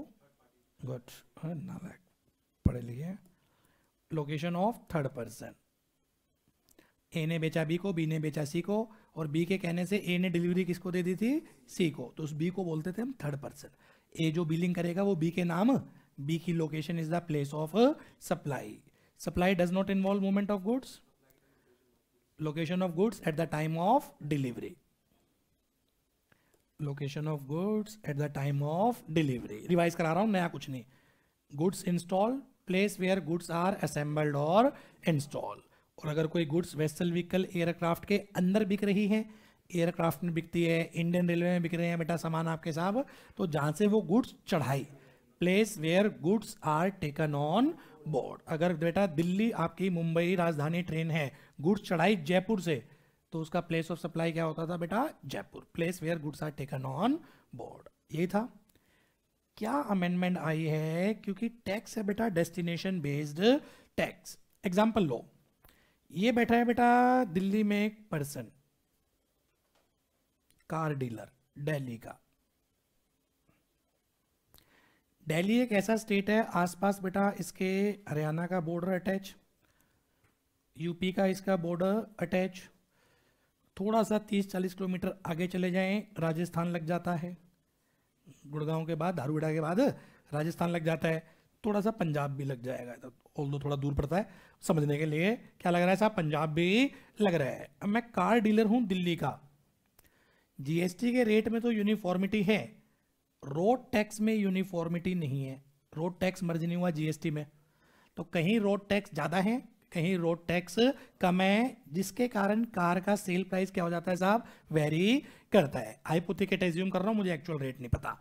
दिल्ली का रोड टैक्स है बेटा टेन परसेंट हरियाणा का रोड टैक्स मान लेते हैं पंद्रह परसेंट दिल्ली में रोड टैक्स है टेन परसेंट हरियाणा का बेटा रोड टैक्स है पंद्रह परसेंट तो कार का सेल प्राइस दिल्ली में सस्ता होगा as comparison to Haryana GST पूरे इंडिया में सेम है। ठीक है ना? उसमें कोई फ़र्क नहीं, पर रोड टैक्स तो मर्ज नहीं हुआ बेटा। अब रोड टैक्स का दिल्ली में रेट है टेन हरियाणा में है पंद्रह। आप लोग हरियाणा के हैं तो क्या दिमाग में आएगा आपके? दिल्ली से ले ले भाई। आरसी दिल्ली की हो जाएगी, दिक्कत क्या है? नंबर प्लेट तो चेंज है। नंबर प्लेट पे थोड़ी ना बैठना है मुझे। मुझे तो कार के अंदर बैठना है। और कार भी अगर मर्सिडीज टाइप से हुई बेटा, आपकी साहब कार महँगी हुई पचास लाख की, पाँच परसेंट ही अपने आप में ढाई लाख हो गया। इतने तो हमारी पूरी सी निपट जाए। अपने आप में ठीक है यार, आप लोगों को फ़र्क नहीं पड़ रहा, हमारे ऐसे को तो फ़र्क पड़ेगा कि ढाई ढाई लाख का क्या है साहब अमाउंट है। अब हरियाणा वाले ने यहाँ से परचेज करी यूपी वाला यहाँ से करके जा रहा है, ये यहाँ से करके जा रहा है। ये सारे मान लो अनरजिस्टर्ड डीलर हैं बायर अनरजिस्टर्ड हैं। रजिस्टर्ड होते तो फ़र्क नहीं पड़ता। क्यों नहीं पड़ता? वो आईटीसी लेने के लिए अपना जीएसटी नंबर देता। आईटीसी क्लेम करने के लिए अपना जीएसटी नंबर देगा। जो जीएसटी नंबर देता, वो तुरंत वही प्लेस ऑफ़ सप्लाई हो जाता है। बिल के ऊपर आता है ना name name of buyer GST number of buyer वो जैसे जीएसटी नंबर देता, दिक्कत नहीं आती, वो उसका प्लेस ऑफ़ सप्लाई हो जाता। अनरजिस्टर्ड का कोई जीएसटी नंबर है नहीं। कारवार आप लेने गए तो इस केस में समस्या ये पड़ती थी, ये टेन वन सी में आ जाता था। Supply does not involve movement of goods हमने तो डिलीवरी वहीं दे देते थे ना हम। कार शोरूम पे दे देंगे, ले जा अपने आप। Location of goods at the time of delivery तो इस केस में सबका प्लेस ऑफ़ सप्लाई क्या होता था? दिल्ली। जबकि इसकी एंड डेस्टिनेशन कहाँ पर है? हरियाणा या यूपी ये मेजर रिवेन्यू का क्या हो रहा था साहब? हरियाणा गवर्नमेंट को नुकसान हो रहा था। दिल्ली बल्ले बल्ले थे वाम वहाँ डेस्टिनेशन बेस्ड टैक्स है बेटा। हर कोई दिल्ली आ रहा है, आओ दिल्ली से गुड्स परचेज करके ले जाओ, अपने आप बाद में ले जाते रहो। रिवेन्यू आ रहा था दिल्ली गवर्नमेंट के पास, क्योंकि ये बिल पे लगाएगा C G S T S G S T जबकि डेस्टिनेशन इसकी कहाँ जा रही है बेटा? हरियाणा, और कहीं ना कहीं ये क्या है साहब? डेस्टिनेशन बेस्ड टैक्स है। क्या अमेंडमेंट करोगे? अमेंडमेंट क्या आएगी इसमें? अब ये अनरजिस्टर्ड पर्सन अगर बेटा ये अपना एड्रेस दे देता है, या केवल ये स्टेट भी बता दे कि कौन से स्टेट से है तो सप्लाई उस स्टेट या एड्रेस पे मान ली जाएगी। नहीं आ रहा सर, समझ में क्या पर्पस सोल्व हुआ? सर पर्पस काउंटर सेल दिमाग में लो। मैं दूसरा एग्ज़ाम्पल देता हूँ इसका। कार वाला एग्ज़ाम्पल समझ में आया? टेक द एग्ज़ाम्पल ऑफ़ मेरे ब्रदर की जो शॉप है बेटा Arihant textile brand S V seven shirt बनाते हैं ये। गांधीनगर में इनका क्या है बेटा? मैन्युफैक्चरिंग भी और आउटलेट भी है। गांधीनगर में मैन्युफैक्चरिंग भी और आउटलेट भी। दो अलग अलग रजिस्ट्रेशन ले रखे हैं इन्होंने। तो ये वाला मान लेता हूँ मैं होलसेल आउटलेट है। कैश सेल होती है यहाँ पर। अब यहाँ से क्या आते हैं बेटा? व्यापारी आते हैं। सुबह सुबह मॉर्निंग सात बजे पहुँच जाते हैं। दस ग्यारह बजे तक तो पूरी दुकानदारी हो जाती है। इनकी जो होनी होती है। बारह बजे तक तो बढ़ा के चले जाओ कुछ। अपना मैन्युफैक्चरिंग पे ध्यान दो। क्योंकि जो बाहर के डीलर आते हैं उन्होंने खरीदा। एक पर्सन आ गए जी मेरठ से। ये आ गए आगरा से। ये आ गए बेटा आपके गुरुग्राम से। दिल्ली के भी होते हैं। फ़िलहाल मैं बाहर वालों में ज़रा ज़्यादा इंटरेस्टेड हूँ। ब्रदर मेरे दिल्ली के, ये पर्सन आए, इन्होंने बेटा 200-300 शर्ट, जो भी थी परचेज करी, पेमेंट करी, वहीं पैक करा, कंधे बिठा के चलते बने। पुराना लो क्या था? Ten one C counter sale हो गई ना? Ten one C counter sale तो बेटा प्लेस ऑफ़ सप्लाई क्या हो जाएगा साहब? प्लेस ऑफ़ सप्लाई मेरे ब्रदर की लोकेशन गांधीनगर। इंट्रा स्टेट होती C G S T S G S T same कहानी बेटा जो आगरा वाला आ रहा है। कैश सेल है भाई, पैसे दे शर्ट लेके जा, चल। वो पैक वो भी ऐसे इंटरेस्टेड वो भी इस चीज़ में थे ना बेटा, कि वहाँ ले जाके अपना दस ग्यारह बजे फ्री हो गए, दो ढाई बजे तो वापस आगरा पहुँच जाएँगे वो। ठीक है ना साहब? सिस्टम ये चलता था, पहले सारा रिवेन्यू किसके पास आता था? ब्रदर पे, नालायक स्टेट गवर्नमेंट पे।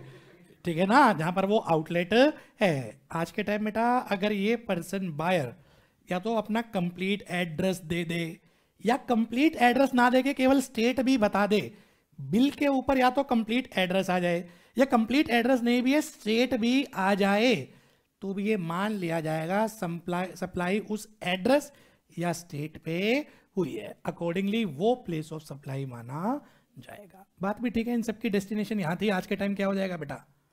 यहाँ। वो अलग बात है, मेरा भाई टेंशन ही नहीं लेता, वो पूछता ही नहीं भाई कौन से स्टेट से। वैसे तो पूछ लेते हैं। चाहे भाई जब बातचीत भी करनी होती है ना भाई। ये थोड़ी ना इतने की ले लेने निकल बाहर।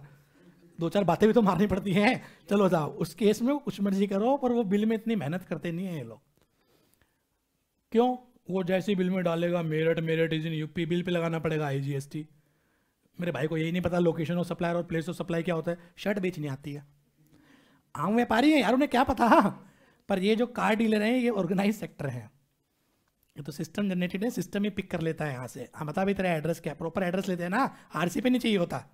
तो प्रॉपर क्या ले रहे हैं बेटा, ये एड्रेस लेते हैं। एड्रेस लेते हैं तो यहाँ पिक हो जाएगा। क्या चेंज क्या हुआ है? टेन वन सी के दो हिस्से कर दिए सी ए बना दिया। टेन वन सी मत समझ लेना, ये खत्म हो गया। अब ऐसा भी तो है जो आज भी काउंटर सेल है, जहाँ सामने वाला एड्रेस वेड्रेस कुछ दे नहीं रहा। मॉल में बड़े तुम अपने एड्रेस दे रहे हो, लिखो मेरे घर का एड्रेस है कौन सा एड्रेस दे रहे हो तुम? तुमने तो परचेज करा गया तो वो तो आज भी टेन वन सी है। टेन वन सी ए कब लगेगा? जब सामने वाला एड्रेस दे दे। सामने वाला है तो एड्रेस दे दे कंप्लीट या एड्रेस ना भी दे, केवल स्टेट बता दे तो भी ये मान लिया जाएगा, बेटा कंप्लीट एड्रेस है। अकॉर्डिंगली वो प्लेस ऑफ़ सप्लाई तो एक बार लैंग्वेज से पढ़ लो, फिर बिल्कुल लेमैन की देसी भाषा में लिखवाता हूँ। चलो जी। A B C D E as it is है। एक नई क्लोज और आ गई सी ए सी ए और वो किसके ऊपर लगेगी? Over the counter sale to unregistered person registered क्यों नहीं? उनका तो पता चल जाएगा, वो नलायक आईटीसी क्लेम करेंगे, अपना जीएसटी नंबर देंगे। जो जीएसटी नंबर होता है, वही मान लिया जाता है प्लेस ऑफ़ सप्लाई तो इस केस में बनेगा बेटा आपका सेल टू अनरजिस्टर्ड पर्सन तो अगर वो अपना बेटा या तो कंप्लीट एड्रेस दे दें, या केवल अपना स्टेट भी बता दें तो प्लेस ऑफ़ सप्लाई वो मान लिया जाएगा।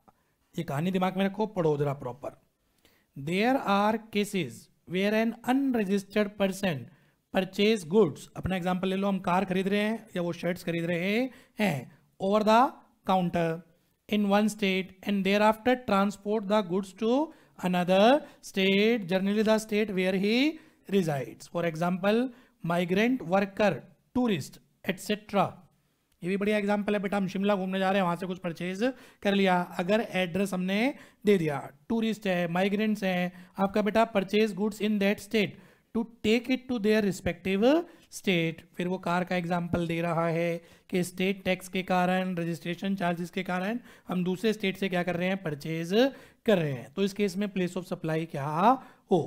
क्या हो? ये हो। ये क्रक्स है। Place of supply in case of OTC बोले तो over the counter sales to ये है। Where the address of unregistered person recorded on invoice अगर एड्रेस है तो बेटा प्लेस ऑफ़ सप्लाई वो एड्रेस ठीक? और अगर बेटा वो एड्रेस ही नहीं दे रहा, फिर तो नॉर्मल केस बन जाएगा बेटा। लोकेशन ऑफ़ सप्लायर वो दुकानदार। और नीचे फिर ये बोल रहा है कि अगर अनरजिस्टर्ड पर्सन केवल स्टेट भी बता दे तो भी सफिशियंट है। वो ये भी बता दे, मैं हरियाणा से हूँ तो भी क्या हो जाएगा साहब? सफिशियंट हो जाएगा।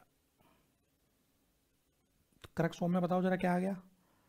Ten one C A place of supply in case of O OTC sale to unregistered person OTC sale to unregistered person क्या वो अपना एड्रेस दे रहा है? अगर एड्रेस दे रहा है तो प्लेस ऑफ़ सप्लाई वो एड्रेस अगर एड्रेस नहीं दे रहा तो place of supply location of supplier और एड्रेस का मतलब अगर स्टेट भी बता दे तो भी वो सफिशियंट है।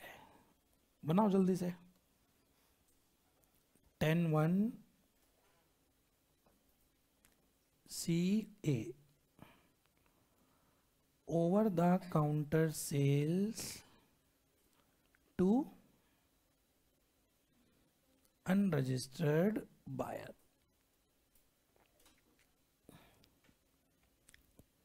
Address of buyer available.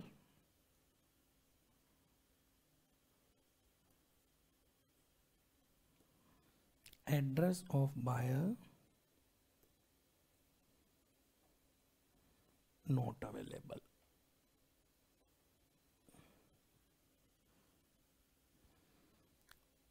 अगर एड्रेस अवेलेबल है तो बेटा place of supply that address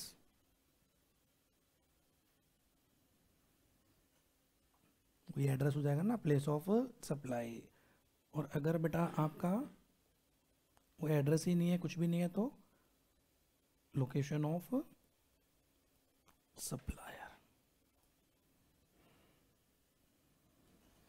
और वो लाइन डाल देना बेटा mentioning the state of mentioning the state of unregistered person shall be treated as address. Complete address नहीं दे रहा, वो खाली स्टेट बता रहा है। तो भी ठीक है जी, वो एड्रेस मान लिया, जाएगा। Destination based tax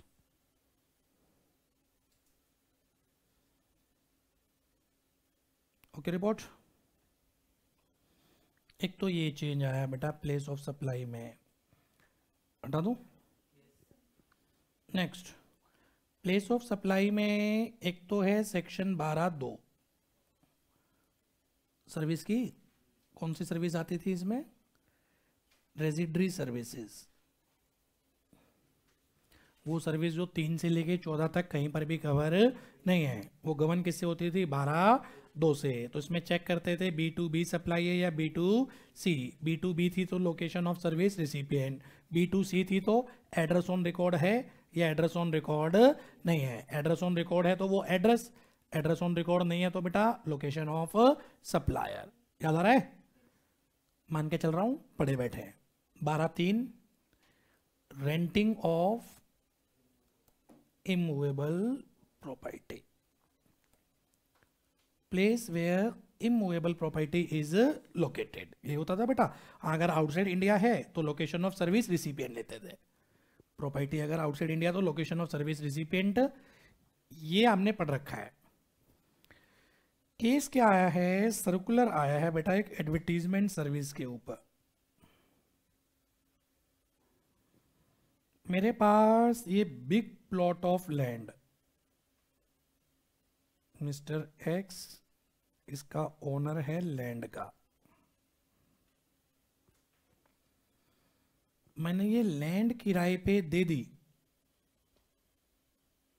TDI international को।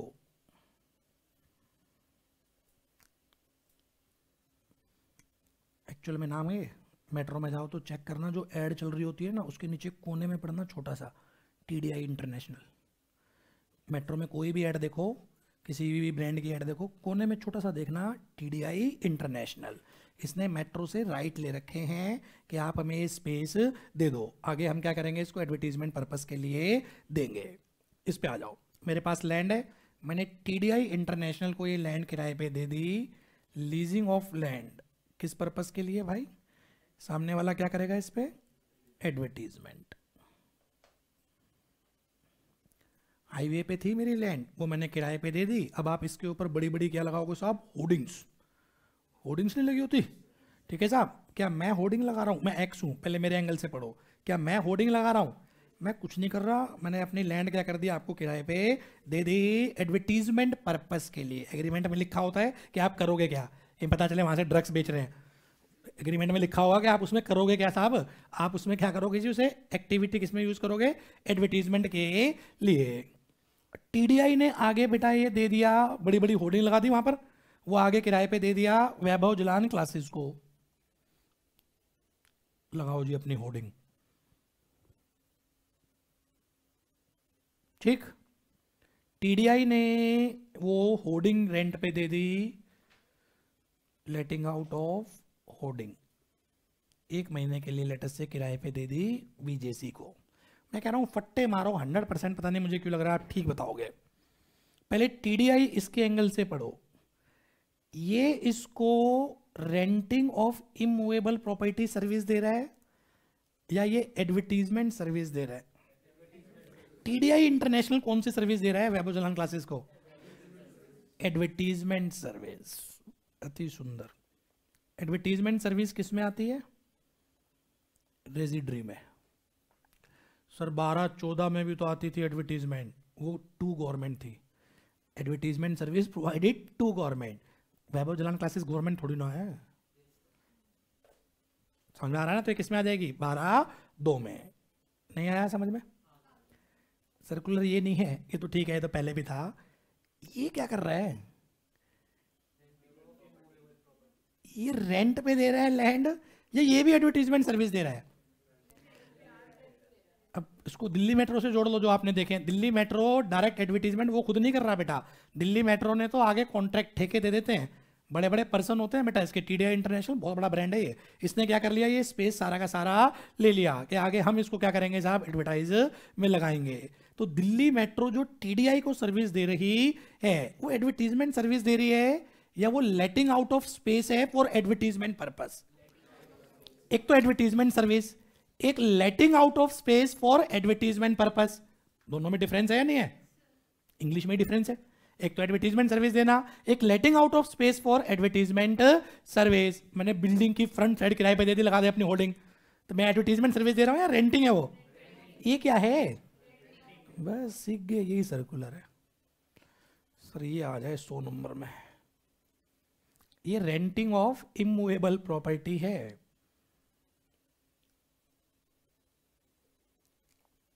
ये रेंटिंग ऑफ़ इमूवेबल प्रॉपर्टी है। ये किससे गवर्न होगी बेटा? बारह तीन से। पूछू? पहले लिख लो। अगर कॉन्सेप्ट समझ में आया तो।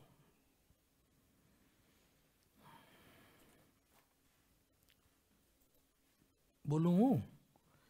ये मेरे पास बिग प्लॉट ऑफ़ लैंड ये वाला पोर्शन मैंने किराए पे दे दिया टीडीआई को। ये हाईवे है हाईवे दिल्ली, जयपुर हाईवे है, ये रहा। महसूस करें? ये वाला पोर्शन मैंने किराए पे दे दिया टीडीआई इंटरनेशनल को। भाई तू होर्डिंग वोडिंग लगा और जो तुझे करना है उसमें कर। मुझे किराया चुपचाप देता रही हो। इस वाले पोर्शन पे मैंने खुद ही होर्डिंग लगा दी। मैंने देखा, यार, कितने पैसे कमा रहा है? नालायक, मुझे तो रेंट दे रहा है पचास हज़ार रुपये महीना। ये खुद सामने वाले से ले रहा है, डेढ़ डेढ़, दो दो लाख रुपए महीना। मुझे ही लालच आ गया। एक बार तो ये था एग्रीमेंट ही तोड़ दूँ। पर मुझे लगा, छोड़ो, बाकी जगह भी तो है मेरे पास। मैंने खुद ही अपनी होर्डिंग लगा दी। हो सकता है? कुछ भी हो सकता है। तो पहले तो ये बताओ, जो टीडीआई को मैंने किराए पे दिया, ये कौन सी सर्विस है? ये ये है रेंटिंग अति सुंदर। और मैंने खुद ही होर्डिंग लगा दी। और वैभव चलन क्लासेस को मैं खुद ही अप्रोच कर रहा हूँ। आओ, यहाँ पर एडवर्टीजमेंट करो, यहाँ से बहुत सीए के बच्चे जाते हैं। आते भी हैं। एडवर्टीजमेंट कितनी बड़ी नज़र मान लो यार, कितनी बड़ी एडवर्टीजमेंट नज़र आएगी। मैं डायरेक्ट क्या कर रहा हूँ साहब? अप्रोच कर रहा हूँ। क्या कहते हैं फिर ये कौन सी सर्विस दे रहा हूँ मैं मैं अब ये याद रखना, ये एडवर्टीजमेंट सर्विस है। कैसे मर्ज़ी समझ लो। वैसे तो ऊपर वाला एग्ज़ाम्पल ये क्लियर हो गया होगा इसी को दूसरे एंगल से घुमा दिया मैंने। दिल्ली मेट्रो खुद ही क्या कर दे साहब? अगर आपके एडवर्टीजमेंट प्रोवाइड कर रही है तो फिर तो दिल्ली मेट्रो एडवर्टीजमेंट सर्विस दे रही है। और अगर दिल्ली मेट्रो ने बोल दिया जी, हमसे तो स्पेस ले लो। आप हमारा काम ये नहीं है। हमारा काम तो कैसा हमसे स्पेस लो, हमें मंथली लमसम देते रहो, आप कितने मर्ज़ी में बेचो। कौन तो वो बैनर बनाए, कौन वो एडवर्टीजमेंट बनाए, कौन उसे लगाए, कौन उन नालायकों से रिकवर करे? हमने तो ठेका छोड़ दिया। नहीं समझ में आ रहा? बस एग्ज़ाम में फंस जाएगा, देख लेना। ओके रिपोर्ट वाइंड अप हो गया बेटा प्लेस ऑफ़ सप्लाई अब आगे आओ. Exemption from GST mega exemption इसमें कुछ नहीं है यार. जहाँ जहाँ डिपार्टमेंट ऑफ़ पोस्ट था एंड इंडियन रेलवे और कर दो. कहाँ कहाँ डिपार्टमेंट ऑफ़ पोस्ट था? याद करो. तो सबसे पहले तो वही जो अभी मैंने डायग्राम बनाया था. सबसे पहला डायग्राम तो वही बन गया साहब आपका कि all services provided by central government state government local authority या तो बेटा आपको बिज़नेस एंटिटी को दी। तो पहले तो चार service always forward charge department of post Indian railway बेटा goods transportation of goods transportation of passenger और कौन सा था साहब आपका? इन रिलेशन टू वेसल और एयरक्राफ्ट वहाँ पर आ गया। दूसरा मैंने आपको बताया रेंटिंग ऑफ़ इमूवेबल प्रॉपर्टी में आ गया।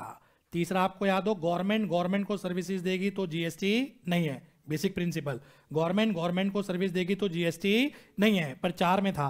डिपार्टमेंट ऑफ़ पोस्ट में था transportation of goods transportation of passenger और आपका बेटा कौन सा था? Service in relation to vessel और एयरक्राफ्ट क्या अमेंडमेंट आई होगी? Department of post and Indian railway फिर गवर्नमेंट की सर्विसेज़ बिज़नेस एंटिटी को दी तो जीएसटी नहीं लगेगा। हाँ लग जाएगा। अगर सर्विस रिसिपियंट बड़ा है। याद है सर्विस रिसिपियंट बड़ा है। आवेवर अगर चार सर्विस हैं तो चाहे छोटा हो, चाहे बड़ा हो department of post transportation of good transportation of passenger vessel और एयरक्राफ्ट उसमें चेंज आ गया होगा। डिपार्टमेंट ऑफ़ पोस्ट के साथ क्या जुड़ गया होगा? इंडियन रेलवे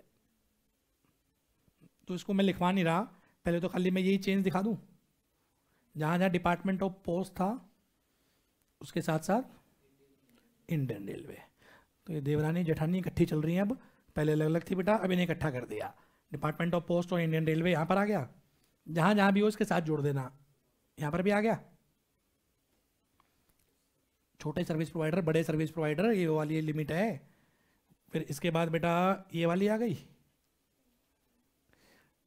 ये कौन से वाली थी? रेंटिंग ऑफ़ इमूवेबल मेगा उसमें पढ़ा गया हूँ आरसीएम में। फिर इसके बाद ये पाँच हज़ार वाली आ गई। डिपार्टमेंट ऑफ़ पोस्ट की transportation good transportation of passenger चाहे पाँच से कम हो, चाहे पाँच से ज़्यादा हो, उसमें ये भी आ गई बेटा। तो आई थिंक ये तो लिखवाने की ज़रूरत नहीं। ये आप लिख लो अपनी लैंग्वेज में, ये नई एंट्री आई है। पढ़ लो। Service provided by government authority by way of water supply Delhi Jal board by way of public health mohalla clinic by way of sanitation conservancy MCD की होती होंगी। Solid waste management slum improvement and upgradation नहीं आई है, रट लो इसे, यूँ का यूँ याद कर लो। पेज पढ़ के ले जाओ एग्ज़ाम में। लिख लो इसे।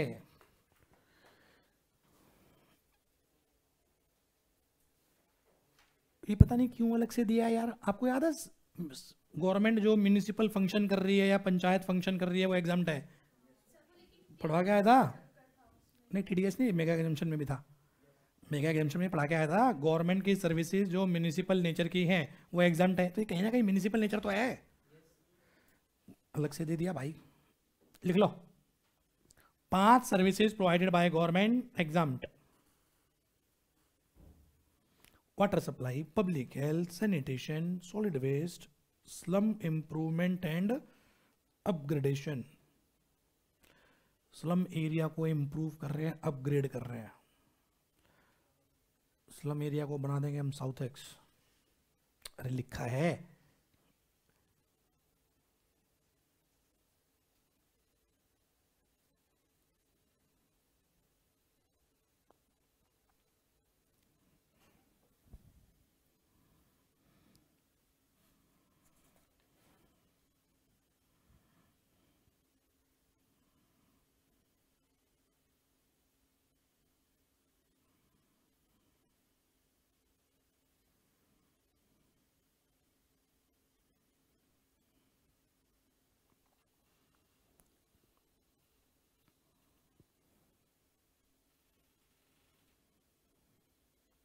ओके, लिख लिया।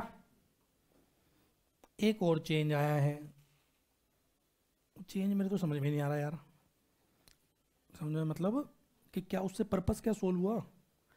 ये मिल रहा है नाइनटीन सी पहले लो था सेटेलाइट लॉन्च सर्विसेज़ ये जो ऊपर सेटेलाइट जा रही है satellite launch services provided by ISRO Indian space research organisation या provide by Antariksh corporation limited या न्यू स्पेस इंडिया लिमिटेड पहले एग्जामेशन इन तीन को थी बस। सेटेलाइट लॉन्च सर्विस या तो कौन दे रहा है बेटा? इसरो या अंतरिक्ष कॉरपोरेशन लिमिटेड एसीएल या कौन दे रहा है बेटा? न्यू स्पेस इंडिया लिमिटेड पहले इन तीन केस में ही क्या थी साहब? एग्जामटेड अब ये तीन वर्ड हटा दिए। तो अब सेटेलाइट लॉन्च सर्विस कोई भी दे एग्जाम्ट है। तो मेरे को तो ये नहीं पता इन तीन के अलावा और देता कौन है।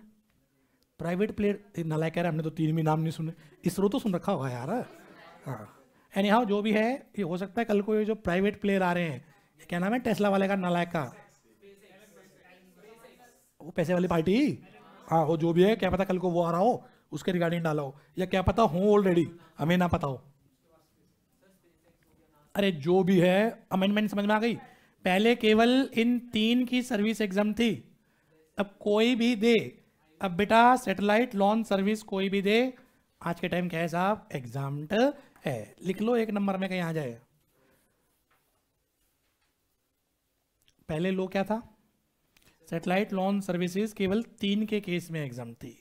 आज के टाइम सेटेलाइट लॉन्च सर्विस कोई भी दे।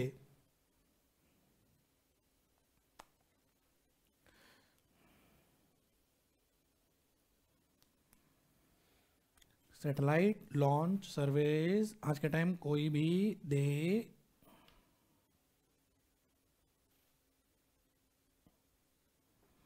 क्या हो जाएगी भाई? एग्ज़ाम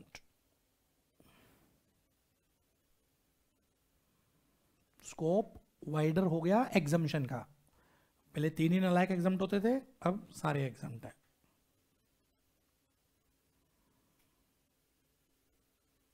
ओके फिर जैसे ही इंस्टीट्यूट के बेटा इसमें आगे बढ़ोगे आप, अगला चैप्टर, ये नज़र आएगा वैल्यू। जो मैं बोल रहा हूँ, ये गलत है हेडिंग, ये है टाइम ऑफ़ सप्लाई। वो एक्शनेबल क्लेम वाला?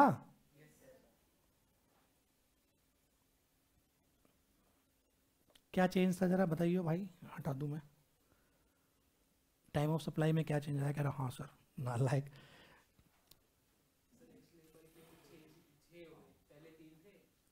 अरे टाइम ऑफ़ सप्लाई में क्या चेंज आया? ये बता नहीं मेट्रो के आगे धक्का दे दूँगा। मैं पहले ये पूछ रहा हूँ, तीन से छः हो गए।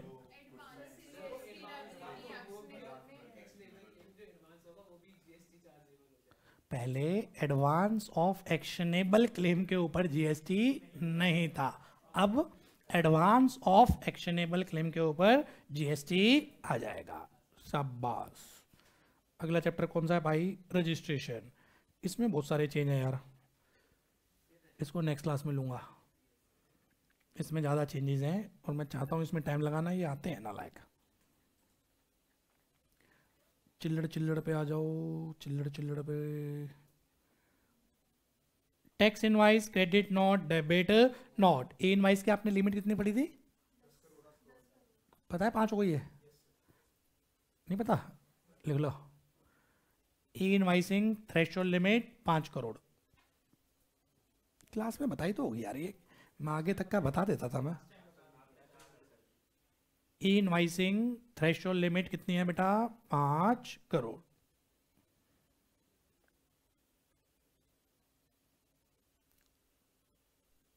E invoicing B to B की होती है या बी टू सी की होती है? सर ई इनवाइसिंग क्या होती है? हम तो यही भूल गए। ई इनवाइसिंग का मतलब ऑनलाइन इनवाइस बनाना। डूब जाओ मैं तो ये भी नहीं कह सकता किससे पढ़ के आए हो। पढ़ के मेरे से बैठे।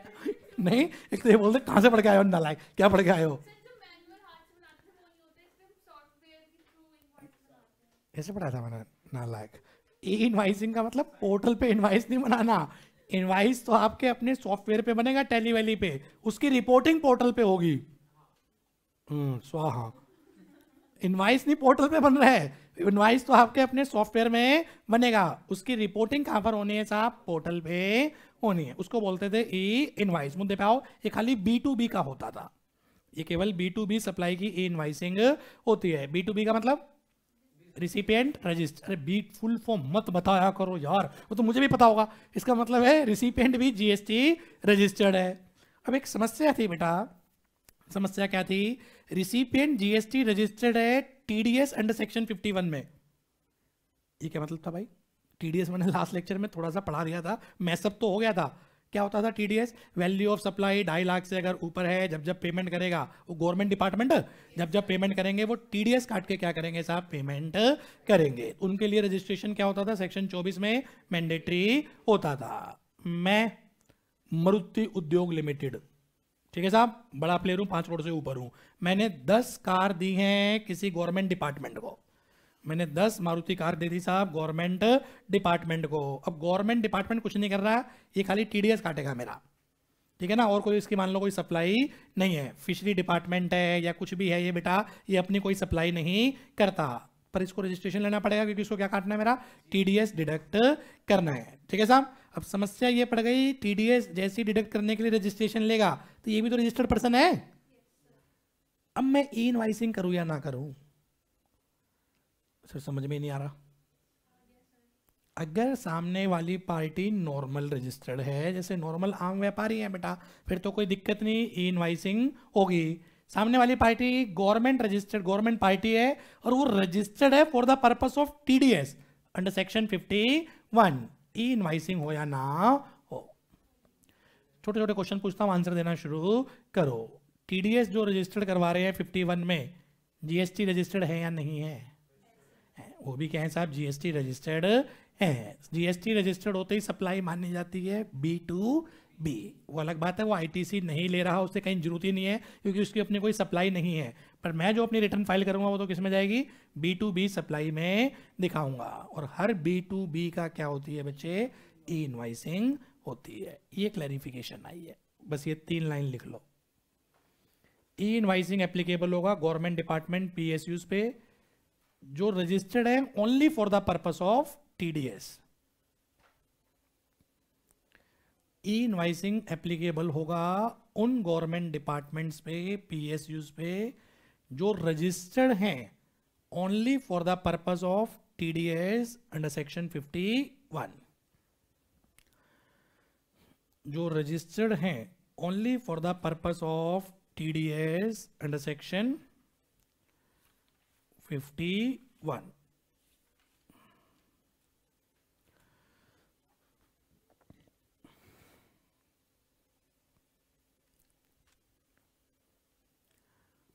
registration भी निपटा दूँ, दस मिनट लगेगी। ख़त्म करूँ, स्यापा एक तरफ़ जीएसटी ख़त्म हो जाएगा। बोल ही नहीं रहा कोई। पहले तो तुम लिख लो।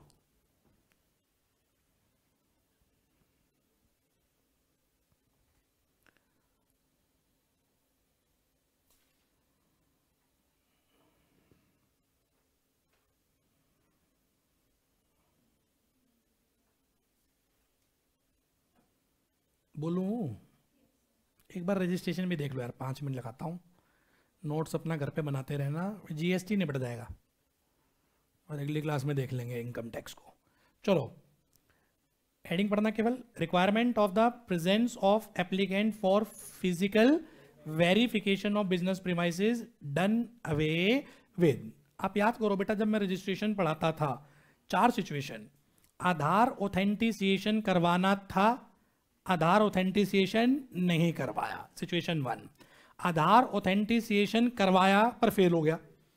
आधार ऑथेंटिसिएशन करवाया, पर क्या हो गया साहब? फेल हो गया। नंबर थर्ड आधार ऑथेंटिसिएशन करवाया पोर्टल ने पिक कर लिया कि भाई इसकी फ़िज़िकल वेरिफिकेशन करो।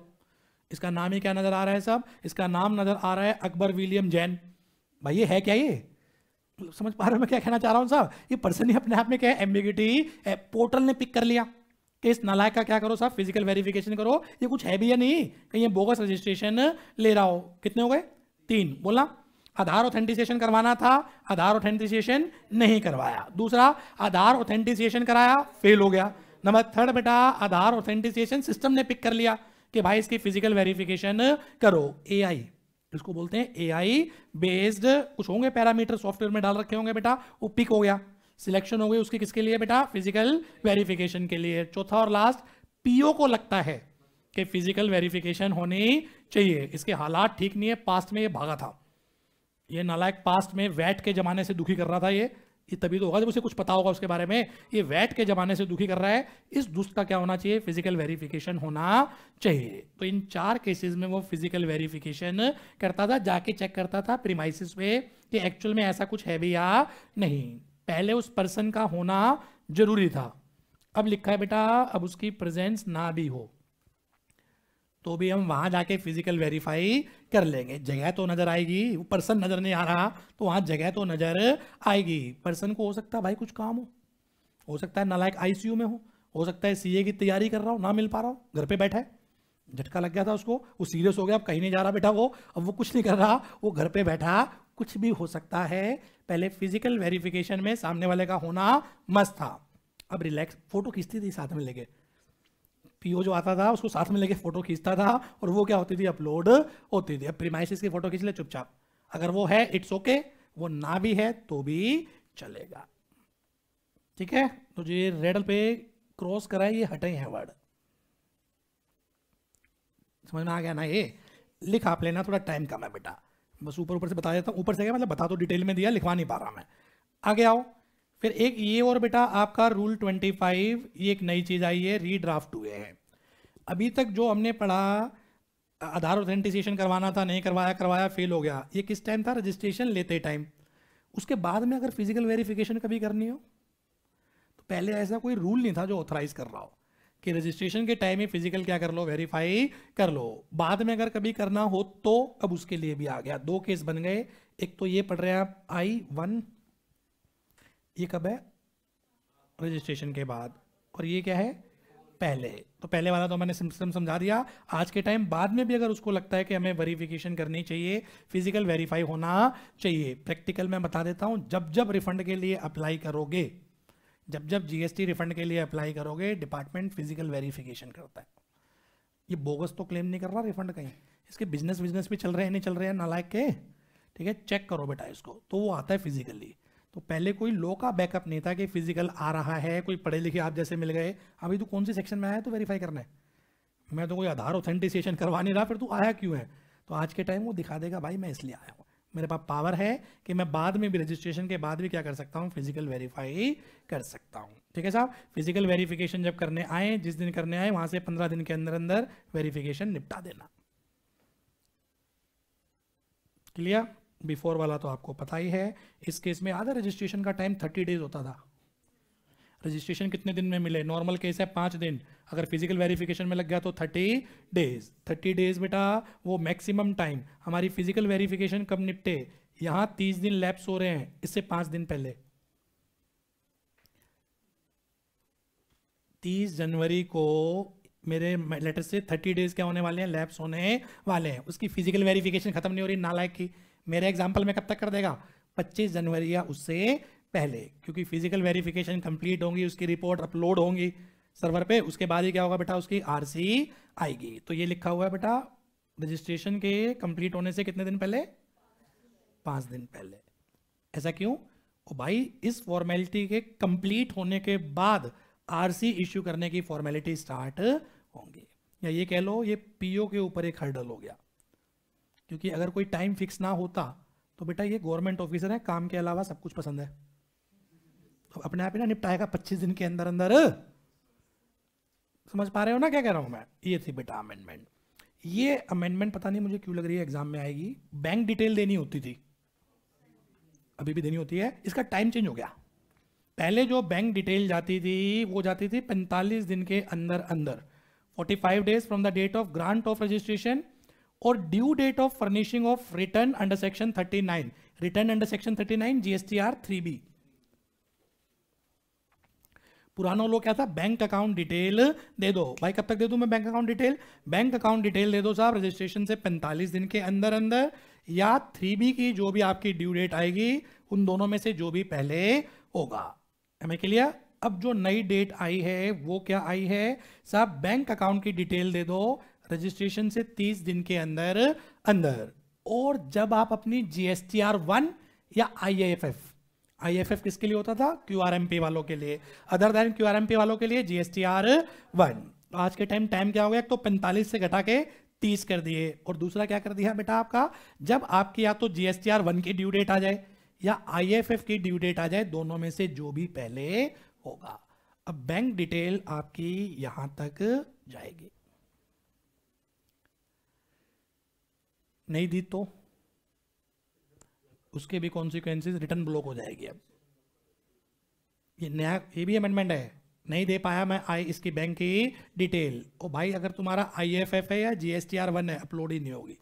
पोर्टल काम ही नहीं करेगा। बैंक की क्या कर दे? चुपचाप डिटेल दे दे। सर बैंक की डिटेल दे दें। डिपार्टमेंट को सारा पता चल जाएगा बैंक में कितना पैसा है। तो वही तो पता लगाना है। ये तो शुक्र है, प्यार से मांग रहे हैं। ना भी मांगे बैंक से ही ले लेंगे। ये तो भी आपसे, ये तो पता है ना कि वो सारी ट्रांजेक्शन देख रहे हैं इनकम टैक्स सारी ट्रांजेक्शन के ऊपर नज़रें हैं उसकी बेटा। क्लियर ये था second third system based suspension system based AI काम कर रहा है पीओ भी कुछ नहीं कर सकता। अपने आप पोर्टल ही क्या कर रहा है साहब? पिक कर रहा है। कहानी बताता हूँ बेटा। पुराना लो क्या था और नया लो क्या है? पुराने लो में तो था भाई, अगर तेरी G S T R three B तेरी टू बी से मैच नहीं कर रही। टू बी क्या होता था? आई टी सी वाला। I T C two B में नज़र आ रहा है एक लाख। थ्री बी में क्लेम कर रखा है बदतमीज ने डेढ़ लाख। तो मैंने बताया था वो रेड हो जाता है। वहाँ पर क्या हो जाता है? वो रेड हो जाता है। अब रेड तो होगा ही होगा। ए आई क्या कर देगा? अभी बताता हूँ। अगर आपकी टू बी और थ्री बी मिसमैच हो रही है और डिफरेंस एक पर्टिकुलर लिमिट को एक्सीड कर जाए एक तो एक दो रुपए से हो, एक ही हज़ारों रुपए में क्या कर रहा है? डिफरेंस आ रहा है। तो law says AI system automatic इसकी आरसी सस्पेंड कर देगा। दोबारा बोलो। अगर जीएसटी आर टू बी और थ्री बी में क्या हो गया साहब? मिसमैच हो गया। और ये डिफरेंस एक पर्टिकुलर लिमिट को क्या कर गया साहब? एक्सीड कर गया। तो बेटा आपका पोर्टल एओ कुछ नहीं कर रहा इसमें। पोर्टल आपका क्या कर देगा साहब? आरसी सस्पेंड कर देगा। पहला केस दूसरा केस, आपकी जीएसटीआर वन में आपने सप्लाई दिखा दी 25 लाख। जीएसटीआर थ्री बी में आपने सप्लाई दिखा दी पाँच लाख। क्योंकि आपको पता है टैक्स तो मुझे थ्री बी में देना पड़ता है। मैं कम से कम जीएसटीआर वन तो दिखा दूँ, ताकि सामने वाले के टू बी में चला जाए। कुछ समझाया होगा मैंने मेल प्रैक्टिस अब मेरा जीएसटीआर वन और मेरा किससे मैच नहीं कर रहा था मेरे थ्री बी से मैच नहीं कर रहा। सर, वो फिर पहला पॉइंट क्या था? वो टू बी और थ्री बी है। दोनों में डिफरेंस समझ में आ रहे हो? टू बी का मतलब मेरा आईटीसी मैंने ज़्यादा क्लेम कर लिया और वो डिफरेंस पर्टिकुलर लिमिट से ज़्यादा है। दूसरा मेरी जीएसटीआर वन और मेरी जीएसटीआर थ्री बी मैच नहीं हो रही। वन में कह रहा हूँ सेल करिए पच्चीस लाख की। थ्री बी में कह रहा हूँ हम्म, मज़ाक कर रहा था। अब तो मेरी नींद खुल गई। ये सेल ही मेरी पाँच लाख की है। चपेट पड़ेगी सिस्टम ही आरसी क्या कर देगा? सस्पेंड कर देगा। पहले खाली ये दो पॉइंट थे। तीसरा जुड़ गया अगर बैंक डिटेल नहीं दी। हे मेरे राम आरसी सस्पेंडर तो अगर बैंक डिटेल नहीं दी, दो कॉन्सिक्वेंसेज हो गए अब। पहला G GSTR one block file ही नहीं कर सकता। दूसरा आरसी ऑटोमेटिक पीओ कुछ नहीं कर रहा। आरसी ऑटोमेटिक क्या हो जाएगी साहब? आपकी सस्पेंड हो जाएगी। क्लियर ये है एआई का सबसे बढ़िया एग्जांपल अगर एआई कोई यूज़ कर रहा है, सही मायने है वो टैक्स डिपार्टमेंट ये धीरे धीरे आगे और बढ़ेगा। ये एओ के काम ही खत्म हो जाएँगे। ये सिस्टम ही पकड़ लिया करेगा बेटा अपने आप में। और सिस्टम जो पकड़ ले, उसमें एरर होने के चांसेस भी कम है। एआई चल रही है भाई, उसमें क्या एरर होनी है? जो प्रोग्राम उसको दे रखा है, वो अपने आप ही पिक करके लाएगा। एओ तो हो सकता है छोड़ दे। एओ जैन, मैं जैन, छोड़ो जैन साहब में। आपसदारी में क्या करना? कहीं ना कहीं आ जाती है बाइसनेस भी, ये भी। तो छोड़ो इसको। एआई को क्या पता कौन जैन अर्थमेटिकल कैलकुलेशन चल रही है वहाँ तो। ठीक है? या कई बार किसी से गुस्सा आ जाता है। मैं ए हूँ, इसे तो धर के रहूँगा मैं। इस पर्टिकुलर कम्युनिटी वाइफ मेरी बेटा लेटर से गोयल है। गोयलों को नहीं छोड़ूँगा मैं। अगर मैं समझने के लिए यार कि अगर मैं ए हो जाऊँ, इसे ज़रूर निपटाऊँगा, खार खाए बैठा हूँ मैं तो कुछ नहीं हो सकता ए आई में बेटा। चलो, ये समझ में आ गया ना? अब पढ़ोगे सारा समझ में आएगा। एक आइडिया दे रहा हूँ बेटा आपको मैं। दो मिनट और लूँगा। इसके बाद ये पढ़ोगे, समझ में आ जाएगा। रिवोकेशन ऑफ़ कैंसिलेशन मेरी आरसी कैंसिल हो गई थी। उसको रिवोक भी कराता था ना? ट्वेंटी नाइन थर्टी जो सेक्शन होती थी, बेटा, उसका टाइम पीरियड होता था अप्लाई करने का पहले थर्टी डेज़ फिर थर्टी डेज़ एडिशनल कमिश्नर या ज्वाइंट कमिश्नर की अप्रूवल ले लो. फिर थर्टी डेज़ कमिश्नर की अप्रूवल लो. तीस प्लस तीस प्लस तीस. अब नब्बे. अब स्टार्टिंग में नब्बे दे दिए लो ने कि नब्बे दिन के अंदर अप्लाई कर ले. किसी कारण से नब्बे दिन में ना भी कर पाए. प्लस 180 दिन की एक्सटेंशन है ड्रेस्टिक टाइम बढ़ा दिया. पहले क्या था? तीस प्लस तीस प्लस तीस. सुनने पे ध्यान दो, एकदम लेमैन की लैंग्वेज से है. सुनने पे ध्यान दे बेटा।